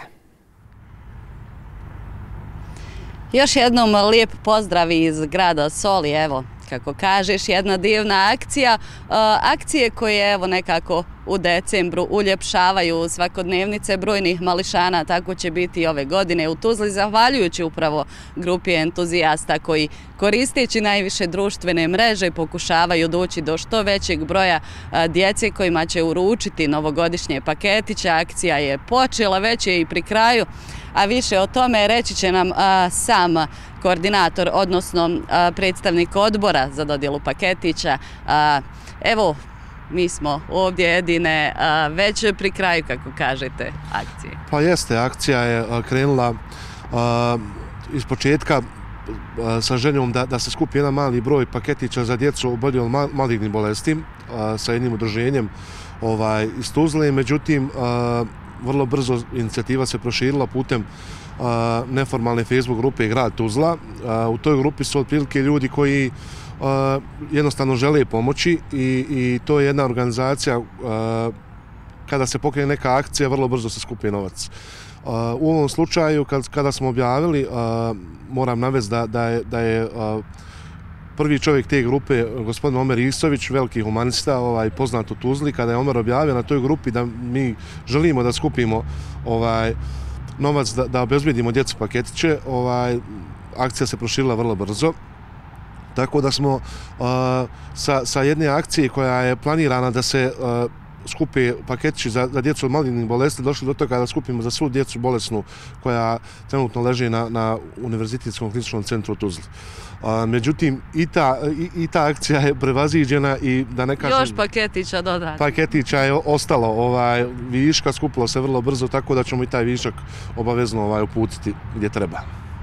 A, kada počinje podjela? A, podjela je planirana za 30.12 planirana je, da kažem, da napravimo jednu posebnu podjelu, ovaj, obavezno će biti jedan mraz. Trenutno smo u fazi da, da nađemo konje i kočije, ovaj, tako da, da to djeci bude jedan izuzetan doživljaj, ne, da ne bude to neka ova, formalna podjela i uručenja, to bude baš doživljaj za djecu. Evo Edine, spomenuli ste Omera Isovića, nije trenutno sa nama, ali evo, zahvaljujući njemu, a, kojeg evo i cijela Tuzla zna, a, brojne humanitarne aktivnosti su pokrenute. Ja moram spomenuti jednu od njih, u planu je čak i a, otvaranje u budućnosti jednog objekta u kojem će raditi i osobe sa smetnjama u razvoju. Pa tako je, Omer je oformio jednu grupu ljudi koji žele da pomognu, Ovaj, mi smo trenutno u, u, u fazi realizaciji a, e, traženja prostora da otvorimo jedan, da tako kažem, kafe a, u kojem bi radili a, osobe sa, sa smetnjama u razvoju. Mislim da, da su, svi znamo da su ovaj odbačeni od društva i na neki način ovaj želimo da ih uključimo jer svedoci smo da, da, da, da ti ljudi E, bori se za egzistenciju, problem je i, i za liječenje, za svašta nešto na, na ovaj način će, ovaj, em što će se društvem imati priliku da zarade nešto i tako. Ono što ste i sami kazali u ovoj teškoj ekonomskoj situaciji kada imamo nažalost sve veći broj građana kojima je potrebna pomoć, nekako evo društvene mreže doprinose tome da se malo olakša svakodnevnica brojnim građanima i ono što je pohvaljujuće, što je ohrabrujuće je da ima zaista građana koji se odazivaju. Pa generalno moram vam priznati da ljudi zaista žele da pomognu. To, to je ovaj, neospodna činjenica. Međutim, e, živimo u vremenu kad se dešavaju ovaj, mnoge prevare i ljudi su jednostavno izgubili poverenje u bilo kakve ovaj, humanitarne akcije ili bilo šta. E, e, Facebook grupa Grad Tuzla je dala jednu novu nadu ljudima gdje ljudi ovaj, jednostavno prepoznaju da su to jedne iskrene akcije, da, da se te akcije posvećuju ljudima koji zaista treba pomoć i ne libije se pomoć u tom slučaju. Ovaj, vjerujte, bilo koju akciju smo objavili ovaj, na toj grupi da je u rekordno vremenu da, da je skupljen novac i da, da je se bukvalno pomoglo ljudima baš kojim to treba, da nije bilo ovaj, ni jednog procenta ovaj, neke sumnje u tu pomoć ili bilo šta. Ono još svakako, evo, za kraj da spomenemo kratko da je, a, su u planu i a, reklame, odnosno display koji će omogućiti također, evo, pomoć građanima pasne našte ideje se rađaju svaki dan vezano za pomoć, tako da je e, sam Omer Isović ovaj, predložio jednu ideju da, da se instaliraju LED display a, i od same reklame i ujedno će biti uključeni ljudi sa, sa teškoćama u razvoju, ovaj, zarađivat će se i, i njima direktno pomagati. Ovaj, moram napomenuti da a, direktno vezana akcija za, za dodjelu paketića će svakako prijeći tradicionalnu, tako da o, sigurno očekujte svake godine da, da, da, da ćemo se posvetiti tome da skupimo novac prvenstveno za oboljelu djecu, a i za sve ostale kojima je to potrebno. Hvala vam na, ovoj, na ovom gostovanju i svakako vam želimo mnogo uspjeha i u daljem radu. Hvala vama, sve najbolje vama i vašim gledalcima. Evo, paketići će biti uručeni djeci u UKC-u Tuzla, ali mnogim drugim i nastavit će se, kako smo čuli, praksa i u narednim godinama. Isto zle je toliko za ovo javljanje. Vrlo je važno sačuvati te osmijehe na, na dječjim licima i budemo dobri prema djeci, e, svoj djeci tokom cijele godine. Evo ovo vrijeme da, da iskoristimo pred, pred novogodišnje praznike, da ih i dodatno e, obradujemo. Brojne akcije, brojne aktivnosti kako bi što više mališana u Bosni i Hercegovini e, dobilo paketiće. Djeca sa poteškoćama u razvoju iz Zenice ove godine su na poseban način način dobila e, svoje e, poklone. Zaposlenici dnevnog centra odlučili su umjesto u svojim prostorijama e, da im poklone uruče u čarobnom ambijentu Smetova. Planina, snijeg, djeda mraz i životinje. Sve ovo samo dio čarobne atmosfere podjeli novogodišnjih poklona djeci sa posebnim potrebama. Sama djeca oduševljena. Najviše mi se svidio djeda mraz koji nam je pripremio poklone za novu godinu. Volim poklone, a volim paketiće. A teta mraz mi se svidio kako lego, ho, ho, ho. U društvu s više od 500 životinja smještenih u mini zovrtu, smijeha i igre nije manjkalo. A osim konja, najveću pažnju ipak je privukao penzionisani magarac Magi. Dugo, dugo nosio drva i sad je u penziji i sad ne radi ništa. Hajde, sad ga slobodno pomilujte. I on se voli Razlog posjeti baš Zološkom vrtu jeste snažan terapijski uticaj životinja na ovu djecu, pogotovo u vrijeme represivnih mjera koji ih još više ograničavaju. Svi su se pomalo otuđili e, jedni od drugih, a pomalo izgledaju od sami sebe, pa smo na taj neki način onaj, htjeli da, da, da, da se ponovo nekako dožive taj neki stari osjećaj koji svima fali, a to je da se druže i da budu socijalni i da se normalno nasmiju i zabave e, sa svojim drugarima. Životinje imaju jako veliki uticaj na, na, na, na E, na ljude, naročito eto, to možemo uzeti iz primjera e, terapijskog jahanja konja ili hipoterapije. To jako dobro se pokazalo, naročito u, u, u, kod oštećenja centralnog nervnog sistema, e, gdje konj jako dobro utiči na tu relaksaciju tih napetih mišića i samim tim na psihu samog, same individuje. Sam decembar nosi radosti, sreću i veselje, tako i naši, našim korisnicima trebamo omogućiti to isto. Ono što je posebna zanimljivost ovog zološkog vrta jeste što se ulaz ne naplaćuje, a životinje žive jedna sa drugom.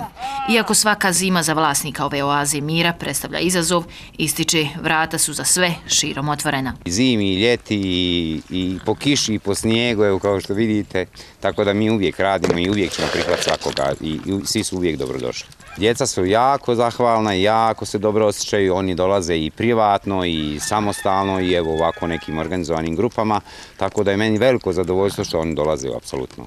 I što se druže sa životinjama. S novom godinom nove nade, u bolje, ljepše i zdravije sutra, a do tada naši veseli sagovornici zajedno sa djedam razom poručuju. Draga djeco, dragi gledatelji, sretna nova godina! Sretna nova godina!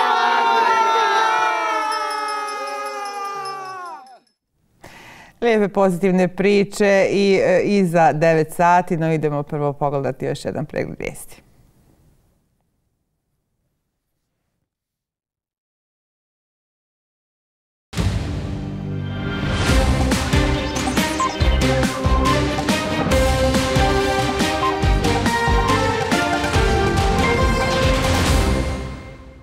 Poštovani gledatelji, dobro jutro. Ja sam Anton Oršulić u nastavku vijesti. Povodom informacije da SIPA izuzima dokumentaciju iz određenih političkih stranaka u Republici Srpskoj u okviru istrage o predmetu rušenja ustavnog poredka Bosne i Hercegovine, oglasio se i čelnik SNSD-a i član predsjedništva Bosne i Hercegovine Milorad Dodik.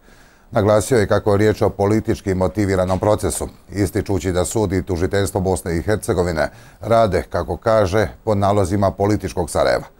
Protiv ovog procesa, kako je najavio Republika Srpska, branit će se organizirano, te će u roku od mjesec dana imati na dnevnom redu zakone koji će regulirati pravosudni sustav.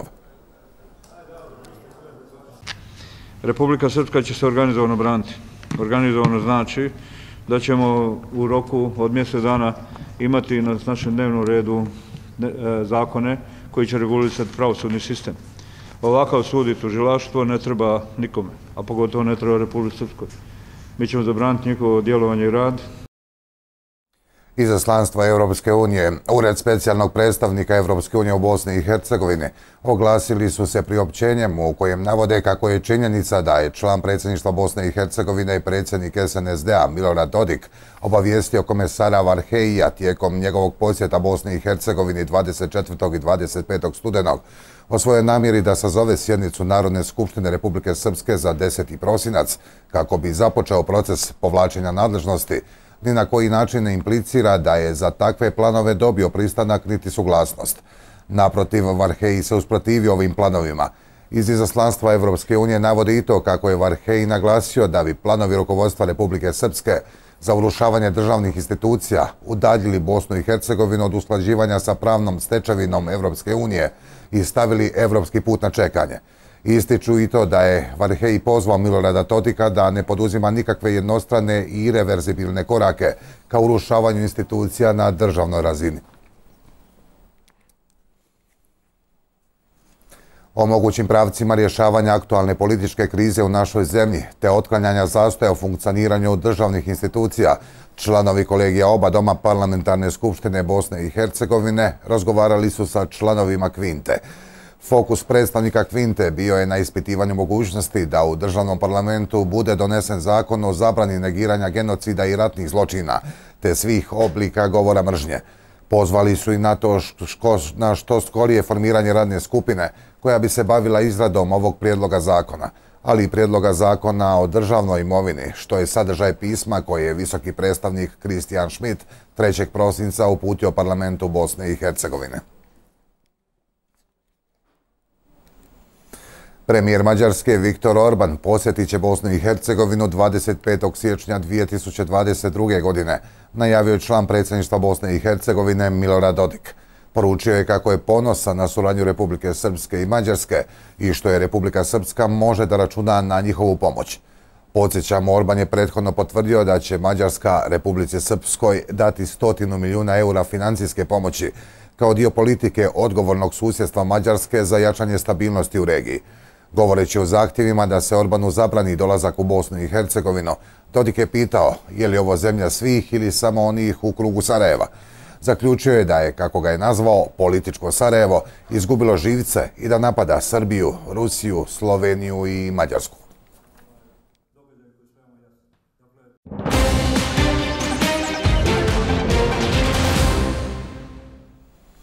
1. siječnja poskupljuje cijena električne energije za gospodarstvo u Republici Srpskoj.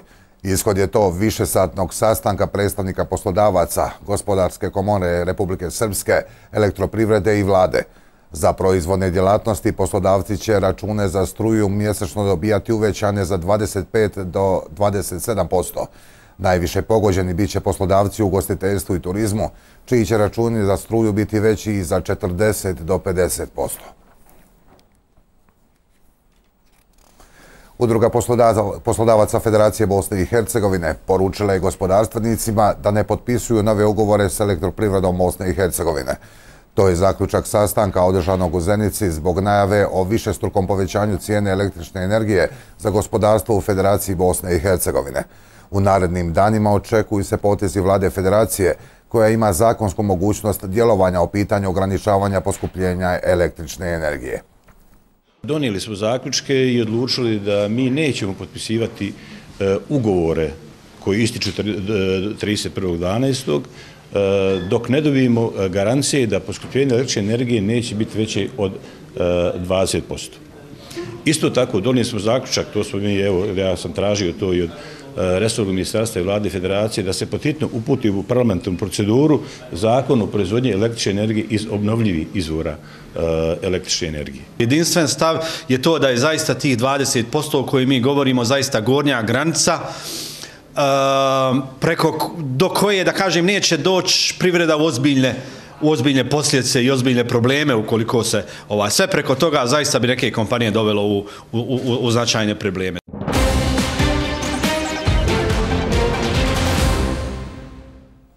Predsjednik Rusije Vladimir Putin održat će danas tradicionalnu godišnju konferenciju za novinare. Zbog mjera protiv koronavirusa, broj novinara će ove godine biti ograničen na 500, a konferencija će biti održana u većem prostoru. Za učešće na konferenciji bit će potrebna tri PCR testa.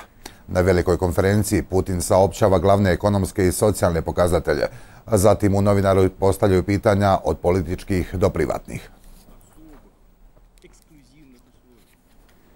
Vrhovni sud SAD-a pokreće sporove vezane za obvezu cijepljenja i testiranja za velike kompanije i zdravstvene radnike koje je uvela administracija predsjednika Joe Bidena. Sud će saslušati argumente 7. sječnja u dva slučaja. Obveza koja se odnosi na radno mjesto trenutno je na snazi u cijeloj zemlji, dok je obveza za zdravstvene radnike blokirana u polovici od 50 američkih saveznih država. Prizivni sud nedavno je dopustio da obveza cijepljenja na radnom mjestu, koja pokriva 80 milijuna američkih radnika, stupi na snagu. To je potaknulo val zahtjeva za blokadu prema Vrhovnom sudu. U Bosni i Hercegovini u protekle 24 sata registrirana su 552 slučaja zaraze koronavirusom. Prijavljeno je 18 smrtnih slučajeva.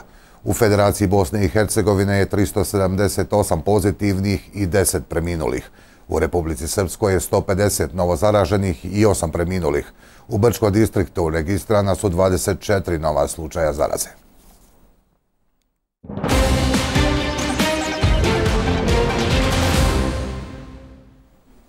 Sporazum između Bosne i Hercegovine i Evropske unije o sudjelovanju Bosne i Hercegovine u programu Unije Horizon Europe, okvirni program za istraživanje i inovacije, potpisala je u ime Bosne i Hercegovine ministrica civilnih poslova naše zemlje Ankica Gudeljević. U ime Evropske unije sporazum je potpisala EU-komesarka za inovacije, istraživanje, kulturu, obrazovanje i mlade Marija Gabriel. Sporazum se primjenjuje od 1. siječnja 2022. godine a našoj zemlji, akademskoj zajednici i kompanijama otvara evropske fondove za istraživanje i inovacije vrijedne 95,5 milijardi eura za razdoblje od 2021. do 2027. godine. I jutro se na putevima u Bosni i Hercegovini prometuje po vlažnom ili suhom kolniku. Izuzetak su dionice u višim planinskim predjelima, preko mostova, vijadukta i na prilazima tunelima, gdje ima poledice. Usjed temperaturnih inverzija povećana je opasnost od odrona kamenja i zemlje na kolnik. Vozačima se preporučuje oprez i obvezno odstojanje između vozila. To bi bilo sve u vijestima. Hvala na pozornosti i doviđenja.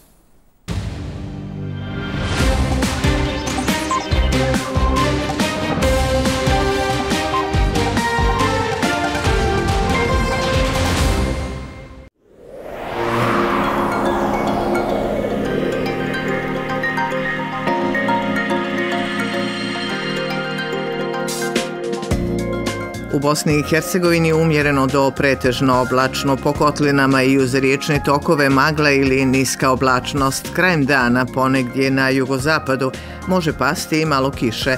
Jutarnja temperatura od minus 7 do minus 1 na jugu do 2, a dnevna od 3 do 9 stepeni. U Hercegovini i zapadnim područjima Bosne pretežno oblačno sa slabom kišom. U ostatku zemlje malo do umjereno oblačno i sunčano. Jutarnja temperatura od minus 2 do 4 na jugu do 8, a dnevna od 3 do 10 stepeni. U naredna tri dana u Bosni i Hercegovini umjereno do pretežno oblačno dnevna temperatura do 10 stepeni.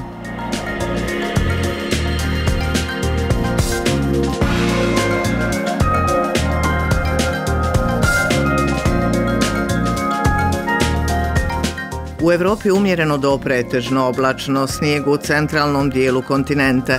Jutarnja temperatura od minus 9 do 13, a dnevna od minus 8 do 16 stepeni.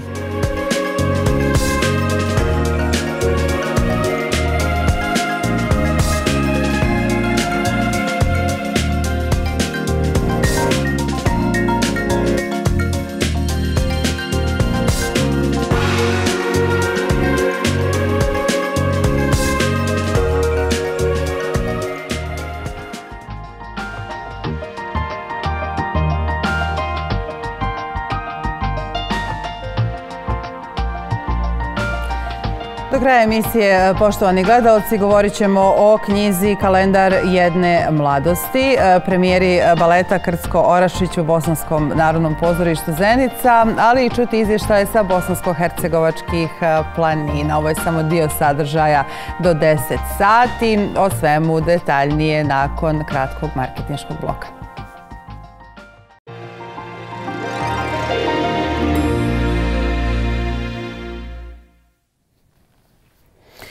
U izdanju eh, BMG Bosanska medijska grupa iz štampe je izašla knjiga Kalendar jedne eh, mladosti. Autorica Alma Hođić-Filipović jutro je s nama u Jutro za sve.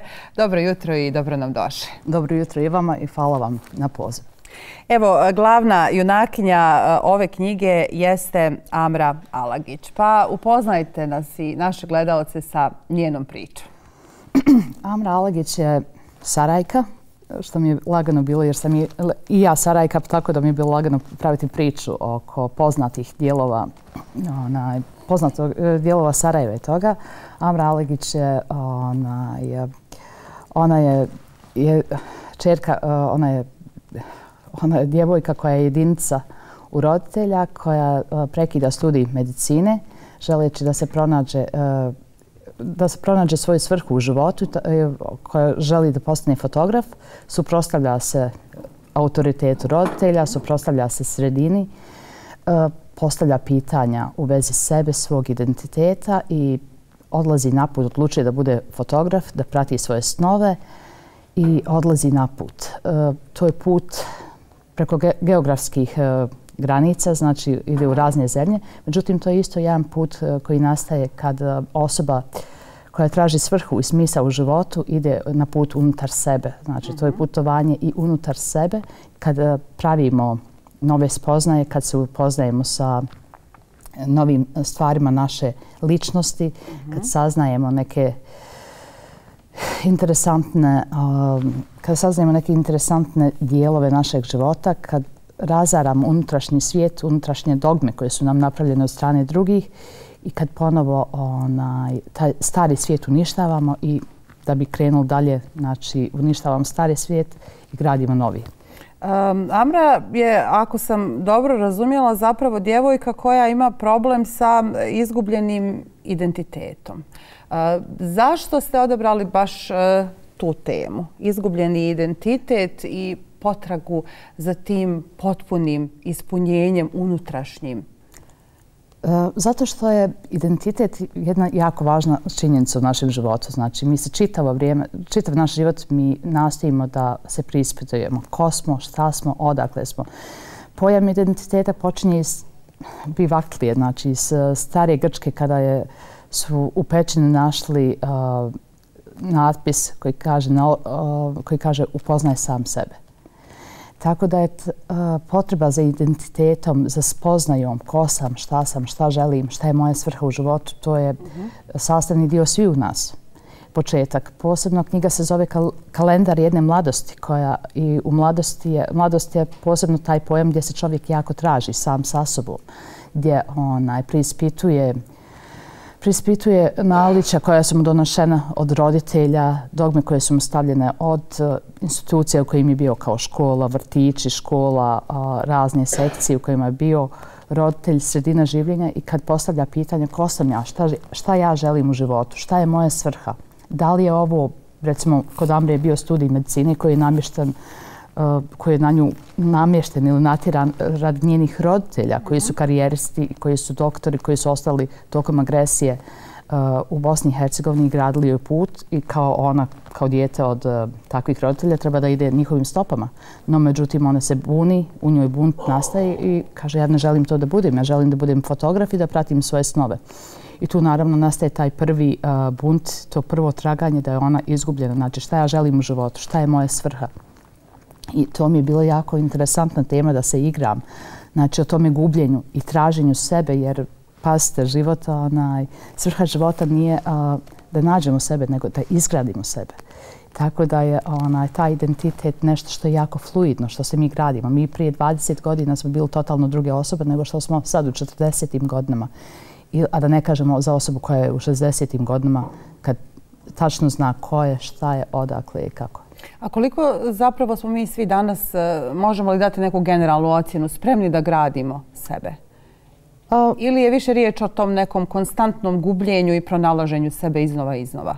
Mislim da je više riječ o tom gubljenju i pronalaženju sebe, posebno u današnjici, u sredini koje živimo, gdje se mi nastavimo čitav život pokazati boljim da smo, vidite na društvenim mrežama kao što je Facebook, kao što je uh, Instagram, E, gledajući slike, svi mi živimo to tako famozne živote, svi smo veseli, svi smo razgrijani, svi smo sretni. Međutim, to je jedna lažna varka. Tako da je to onaj čovjek koji sa strane posmatra uh, je jako onaj dolazi u situaciju da je dolazi u situaciju da je postavlja pitanje oko sebe da li sam ja sretan, svi prijatelji moji su sretni, svi prijatelji su zadovoljni, šta je sa mnom, ja sam tužan. I u kome je problem, u njima ili u meni. Tako da onaj, taj identitet je uh, ja bih rekla da je taj identitet da smo mi u konstantnom tom traženju, bar jedno do nekih 60. godina bi smjela da kažem da smo non stop postavljamo pitanja. Da li je, da li je um, Alma, to razlog i stupanja u površne odnose? Da. Jer mi se, nažalost, svijet u kojem živimo traži instant uh, rješenja, traži instant zadovoljstva. Uh, niko ne voli dubinu živimo u vremenu kad se jako malo knjiga čita. E, živimo u vremenu kad nam je sve dostupno na internetu. Dovoljno je da uzmemo ove pametne telefone, da odemo na Google, da nađemo odmah informacije. E, malo se ko udubljuje u, inače u neke spoznaje da nauči nešto. Recepti više nisu, recepti se ne nalaze, recimo, na primjer, recepti se ne nalaze samo u kuharima. Sada je lagano otići čak na YouTube i vidjeti kako se sprema, kako se razvija pita, kako, onaj, kako se pravi kolač. Znači, više niko ne treba, nema potrebu toliko da čita, da ulaže u sebe. I mislim da ljudi, nažalost, puno gube sa, tim, sa tom površnosti. Površnost nas jede uh mhm. -huh. ona, i uništava onaj najbolje od nas vodimo instant živote. Evo samo za naše gledalce e, pojašnjenje, dakle naša sagovornica osim što je danas ovdje da predstavi svoju knjigu zapravo i ima i, i, i naučnu podlogu za, za ovo o čemu govori jer je diplomirala psihologiju, dakle psihologija je e, vaše profesionalno usmjerenje.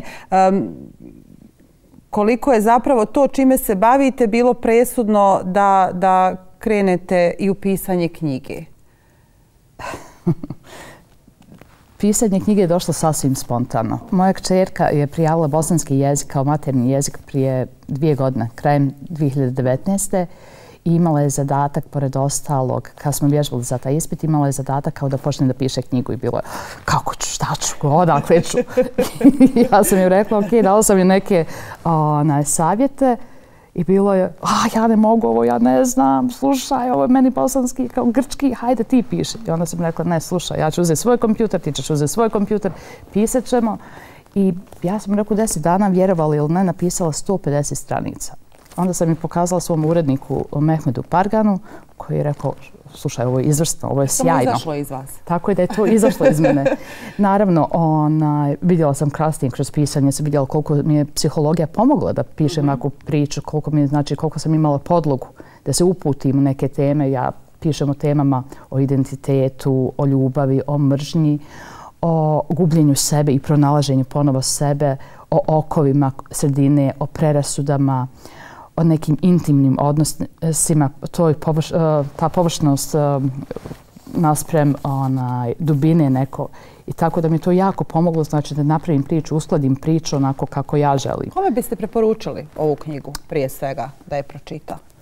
Svim ljudima, uh, najviše možda mladim ljudima koji žele, koji se traže, ženama, svih uzrasta, možda nekih 40 godina pa nadalje, onaj, da znaju jer ja živim po onome kako Meša kaže, ko psiholog, jel, Meša Selimović je rekao 40 godina je ružno doba. Previše smo o, stari da bi imali neke snove da bi ih radili, a previše smo onaj, mladi da ih da, da nastavimo dalje, da samo prekinemo, da sanjamo. I tako da je za mene tih 40 godina neka preokretnica kad se upravo čovjek postavlja pitanje šta sam uradio do sada i šta me čeka dalje.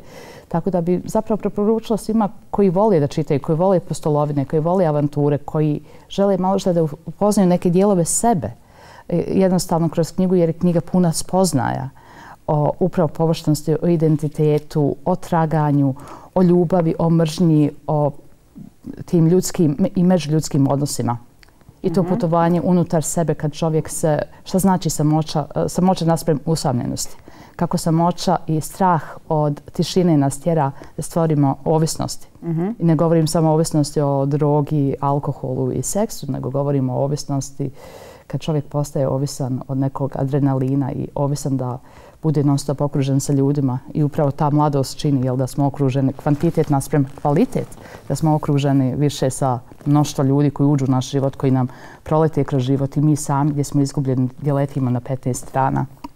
Jer i mi u konačnici tako uđemo pa proletimo kroz, kroz nečiji život. Zaista širokoj publici e, namijenjena. Um, generacija smo, znam o čemu govorite, u potpunosti razumijem. E, Biće mi drago da, da, da pročitam ovo štivo. Nadam se e, da će e, biti prevedena i, i na norveški ova knjiga. Vama hvala lijepa što ste nam došli u goste. I bit će nam drago da vas ponovo ugostimo ukoliko iz vašeg pera izađe ponovo nešto slično. Hvala vama. Ova knjiga je samo dio jedne trilogije. E, dolazi knjiga broj 2, će doći krajem 2022. Računamo i knjiga e, broj 3, znači završna knjiga se upravo pravi u ovome trenutku. Večeras je promocija u Skenderiji, u kolegijum artistikum u e, 5 sati, pa dobrodošli svi koji žele da čuju ovu priču. Hvala, hvala lijepa Alma, mi se vidimo onda i 2022. Hvala.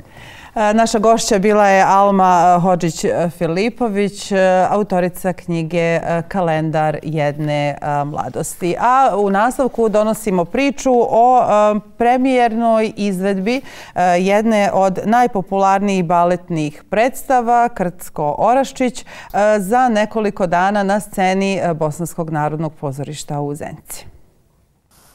Kompleksnost organizacije jedne od najljepših baletnih priča Krtsko Oraščić ujedinila je tri velike kulturne institucije grada.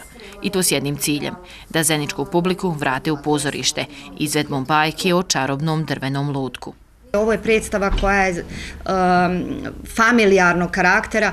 Nadamo se da ćemo vratiti osmijehe, da ćemo malo ući u jednu lijepu maštu, u jednu lijepu čaroliju i također se nadamo da će ovo uh, biti prvi korak da napravimo Um, Um, kako bih to rekli, tradicionalno, ko što se to radi u svijetu, da se svake godine uh, sa iščekivanjem čeka ovakva postavka Krtska Oraščića. Ova baletna predstava jest domet ovoga grada gdje trebamo stremiti, gdje trebamo što više negdje postavljati sebi ciljeve u ovom vremenu koje je, kao što znamo, izazovno za sve nas, a napose čini mi se za kulturu, za obrazovanje. Saradnja Ars Centra i Bosanskog narodnog pozorišta seže u 2013. godinu, kada se prvi put na pozorišnim daskama izvela predstava Balit.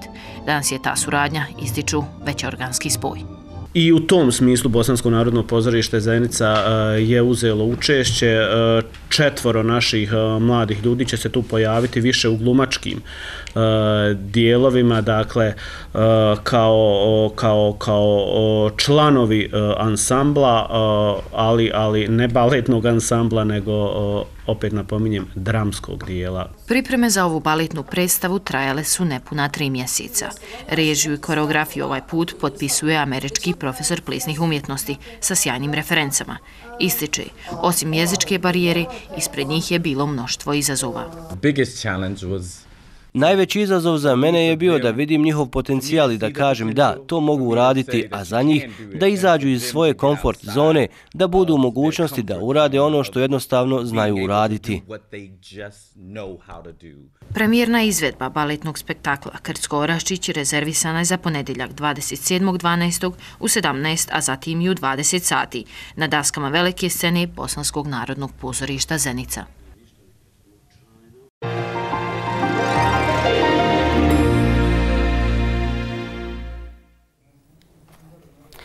Projekcijom filma Walter brani e, Sarajevo. Jučer je obilježen dan Hajrudina Šibe Krvavca. Riječ je o kultnom ostvarenju iz 1972. godine s kojom je e, istekao najveću slavu. Poseban program povodom 95. rođendana jednog od najznačajnijih bosansko-hercegovačkih filmskih autora organizovalo je udruženje rediteljica i reditelja Bosne i Hercegovine.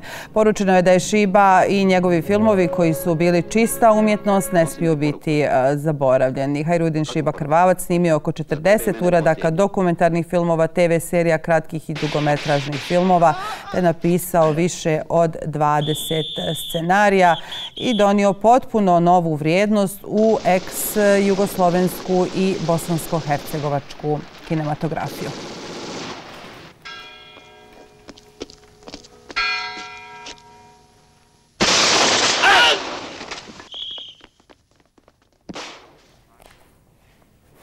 Četvrtkom vas, e, kao što to već i znate, e, nagrađujemo. E, po dvije ulaznice poklanjamo za šest gradova, šest sinestar kina u Bosni i Hercegovini. Procedura je sljedeća. Odete na našu Facebook stranicu Jutro za sve, pronađete objavu i slijedite jednostavne upute. Dobitnike ćemo proglasiti sutra, a evo E, za koji film vam ovog četvrtka e, dijelimo ulaznice. Na najopasnijem mjestu na zemlji preživljavaju samo najstrašnija stvorenja. Evo Svenkija! Medo i Lemici se vraćaju. Opasnoj akciji. Svenek, kako ide? Loša je veza. Ne, ne, ne, ne, ne. moja guza! Što je o moja guza? I uzbudljivoj avanturi. Eliminirali smo crveno kamenje. Medo sa Sjevera 3, kraljevska avantura. Osim ove animirane kraljevske avanture u Sinestar kinima još možete gledati sljedeće filmove. I was just wondering what day I should come up for the holidays. Yeah, I've been meaning to talk to you about that. Brandy and I are seeing each other. Like seeing each other's right? Ovih blagdana. Andy and I went to high school together. You could be the bigger person and break them up, or process your emotions like an adult. Your father is a spectacular lover. A race! A race! Rasturi. Nice to see you and your neat sister. I'm his daughter. Right. Ništa od Božića ove godine u Sinestaru. What's happening? They're starting to come through and I can't stop them. When you're thinking I'm about to do something that could break the universe. Oh, I know you! Run it by us. We need to send them back. You're not gonna take this away from me. You're flying out into the darkness to fight ghosts. What do you mean? They all die fighting Spider-Man. I'm sorry, kid. Yeah, me too. Don't. There has to be another way! There isn't. Spider-Man, No Way Home. It's happening tonight. I want the West Side locked down. Film Stevena Spielberga. I never seen you before. You keep away from my sister. Grad je podijeljen. We need you if we're going to war. Njihova ljubav Tony, I am scared. će sve promijeniti. There won't be any fight. Do you want to start World War III? Stand with us. Priča sa zapadne strane u Sinestaru.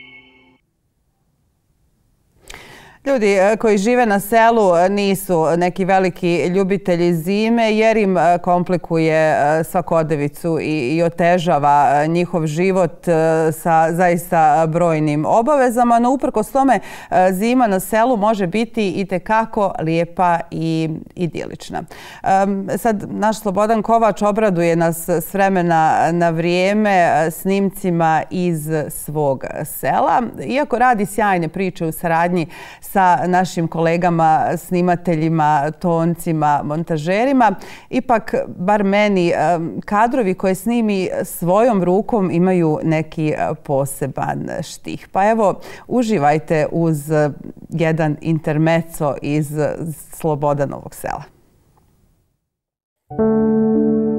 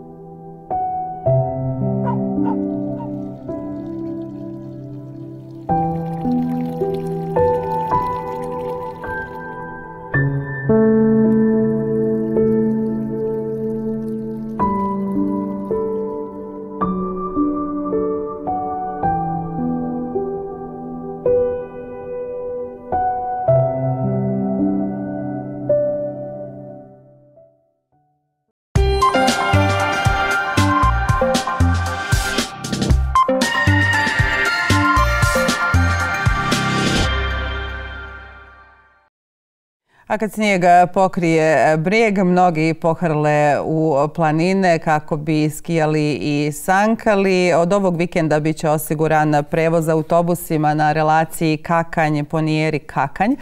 Polazak je u 9 sati ispred Sahat Kule, a povratak u 16 sa Ponijera. Prevoz za građane je besplatan, a sve troškove plaća općina Kakanj. Imajte na umu svakako da je potrebno izvršiti prijavu odlaska na Ponijera, a to možete učiniti učiniti e, svakim radnim danom od 7 do 14 sati na broj telefona 032 771 800 lokal 882. Eto dakle, informacija za sve e, građane Kaknja koji žele posjetiti Ponijere, uživati ovog vikenda u ljepotama ovog skijališta, a e, mi u nastavku idemo do Bjelašnice. Aldin Smajkan s nama i ovoga jutra. Aldine, dobro jutro kakva je evo e, situacija na e, Bjelašnici i Igmanu jutros?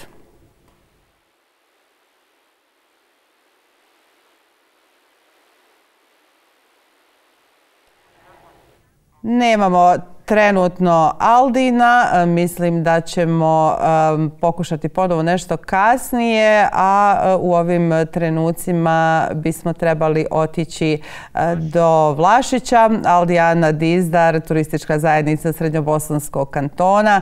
Aldijana, dobro jutro. Evo da čujemo redovni jutarnji izvještaj. Dobro jutro vama i svim vašim gledateljima.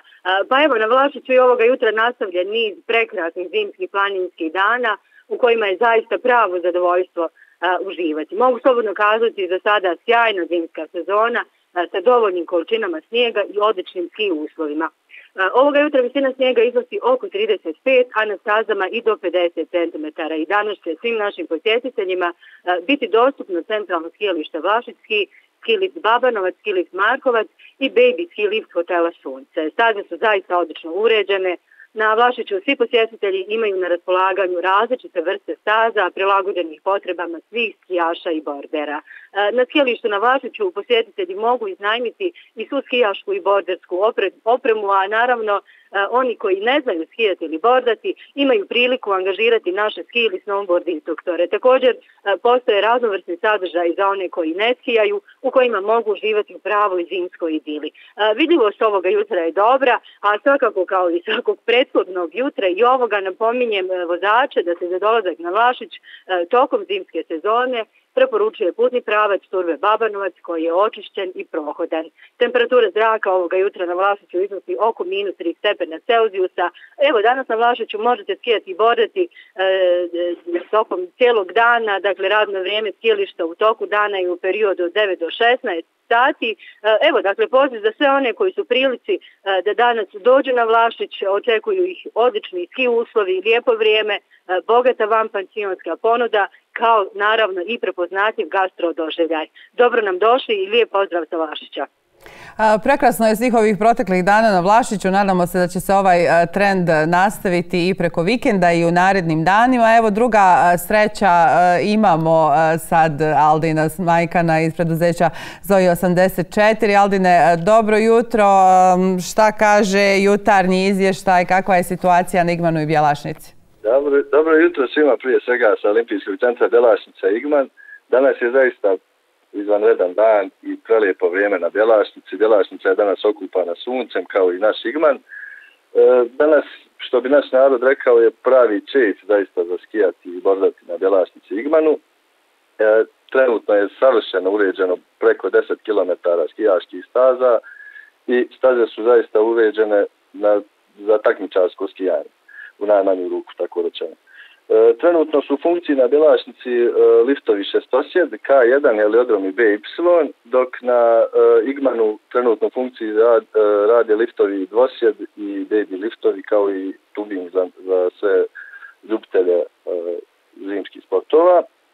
E, što se tiče e, same, same visine snijega na Belašnici, danas je izmjereno 118 cm snijega, dakle uslovi su zaista izvanredni. E, E, trenutna temperatura zraka je minus 3 stepena Celzijusa u Babinom dolu, a e, na na međustanciji na vrhu Bjelašnice već to ide do minus 7.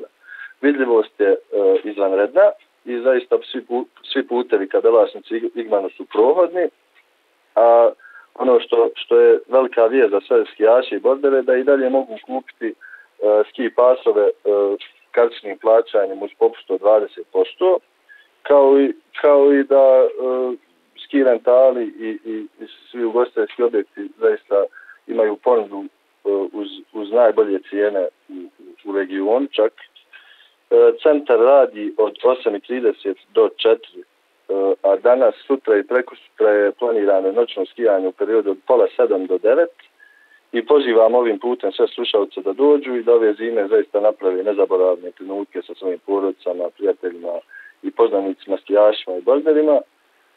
Dobro nam došli i lijep pozdrav svima sa Olimpijskog centra Bjelašnica.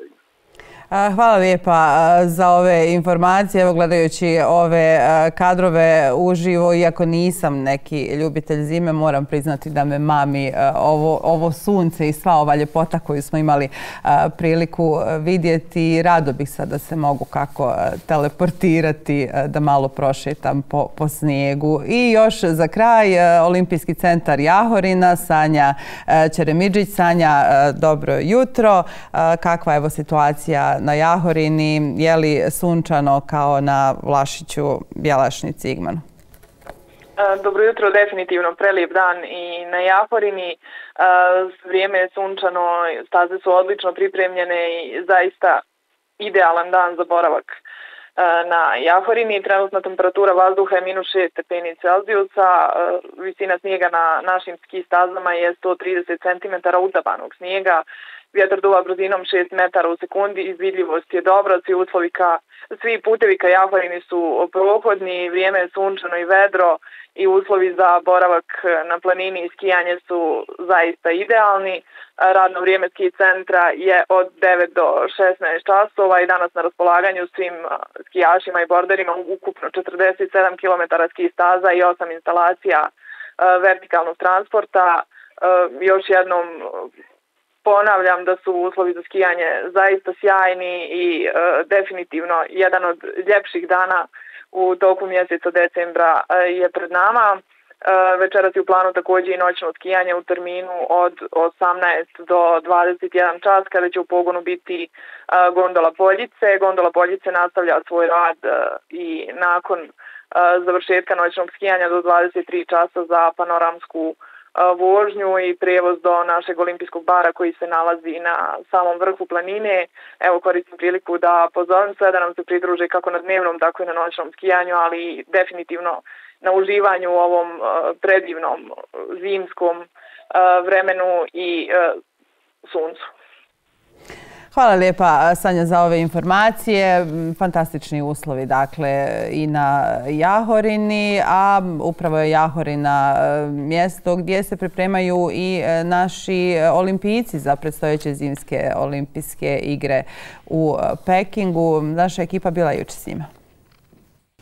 U kojoj disciplinama ćeš nastupiti na olimpijadi? Nastupam u disciplinama sprint 1400 metara i ima start 30 kilometara. Nastupat ću u sprintu, nastupat ću u distanci 15 km klasika i nastupat ću u 50 km maraton. U sprintu bi se zadovoljio uh, ako i kako to bude moguće prva polovina, mada nećemo sada ni da pretjerujemo što to je veoma težak rezultat, uh, pa ćemo da vidimo a od eh, distanci da ostane da mi za ostatak samo bude bar malo manje od 5 minuta i 50 km da završim uspješno da završi. A mi ostajemo u, u svijetu sporta, ali govorimo o jednom sportu koji može biti i sport i hobi, ali nije baš specifičan za ove naše eh, prostore. Riječ je o eh, sokolarstvu i pogledajte u nastavku kako izgleda trening ovih prekrasnih ptica u Kataru. Ove ptice su neki od najcijenjenijih stvari koje posjeduje Halid al-Badi. Kao i generacije prije njega, čuva ih za lov.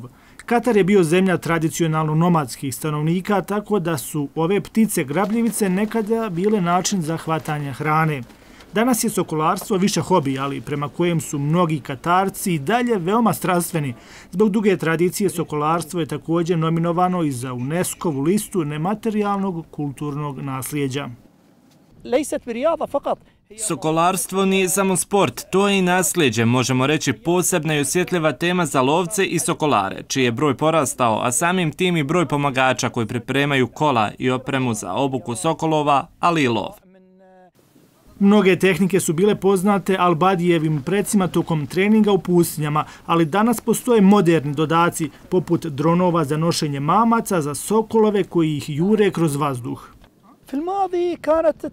U prošlosti je obuka Sokolova bila jednostavnija. Sokolari su se brinuli da ne izgube svoje ptice jer nisu imali modernu opremu kao što je GPS sustav i tragači. Također, nekad su se koristile kamile i konji pa je brzina bila ograničena. Danas su to brzi automobili i moderna oprema koja omogućava više vještina i spretnosti. Međutim, zaokret ka visokim modernim tehnologijama čini sokolarstvo manje autentičnim, smatra Albadi, a soko u njihovoj kulturi ima posebno mjesto. Kao Ara posjećam se ponosno kada mi netko kaže kako sam kao sokol, jer sokol je simbol inteligencije, dovitljivosti, umjetnosti, ali i muškosti. Kada želiš nekome dati kompliment, kažeš mu da je slobodan kao sokol. Ova praksa treniranja sokolova se praktikuje i u drugim zemljama svijeta, što može uključivati druge ptice grabljivice poput orlova i jastrebova. Neki aspekti sporta se mogu razlikovati, ali u svim zemljama metode su uglavnom slične.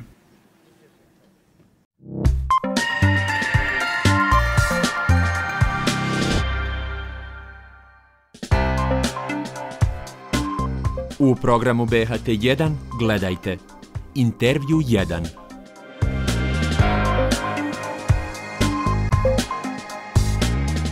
Igranu seriju The First.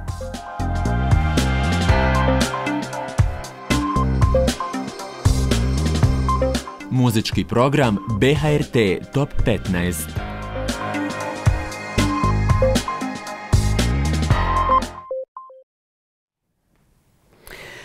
I ovim, e, ovom preporukom e, sadržaja koje možete pratiti večeras u programu e, televizije Bosne i Hercegovine priveli smo kraju još jedno izdanje jutarnjeg programa televizije Bosne i Hercegovine. Družili smo se u protekla dva i po sata. Sve ono što niste uspjeli vidjeti premijerno ujutru možete pogledati na našoj Facebook stranici, potom na YouTube kanalu eh, BHRT bhrt.ba, ali i ispratiti na e, portalu BHRT-a gdje osim sadržaja e, naše emisije možete pratiti sve dnevne aktuelnosti iz zemlje, regije i e, svijeta, ali i ostale sadržaje iz programa radija i televizije Bosne i Hercegovine. Jutarnji program sa vama je sedam dana u sedmici to već znate. Novi susret vam za sutra u 7 sati i 30 minuta, ali i e, u našim vikend izdanjima nas možete pratiti u subotu i nedjelju od 8 do 9. Eto, toliko od mene za danas. Hvala na pažnji. Želim vam ugodan i lijep ovaj četvrtak. Doviđenja.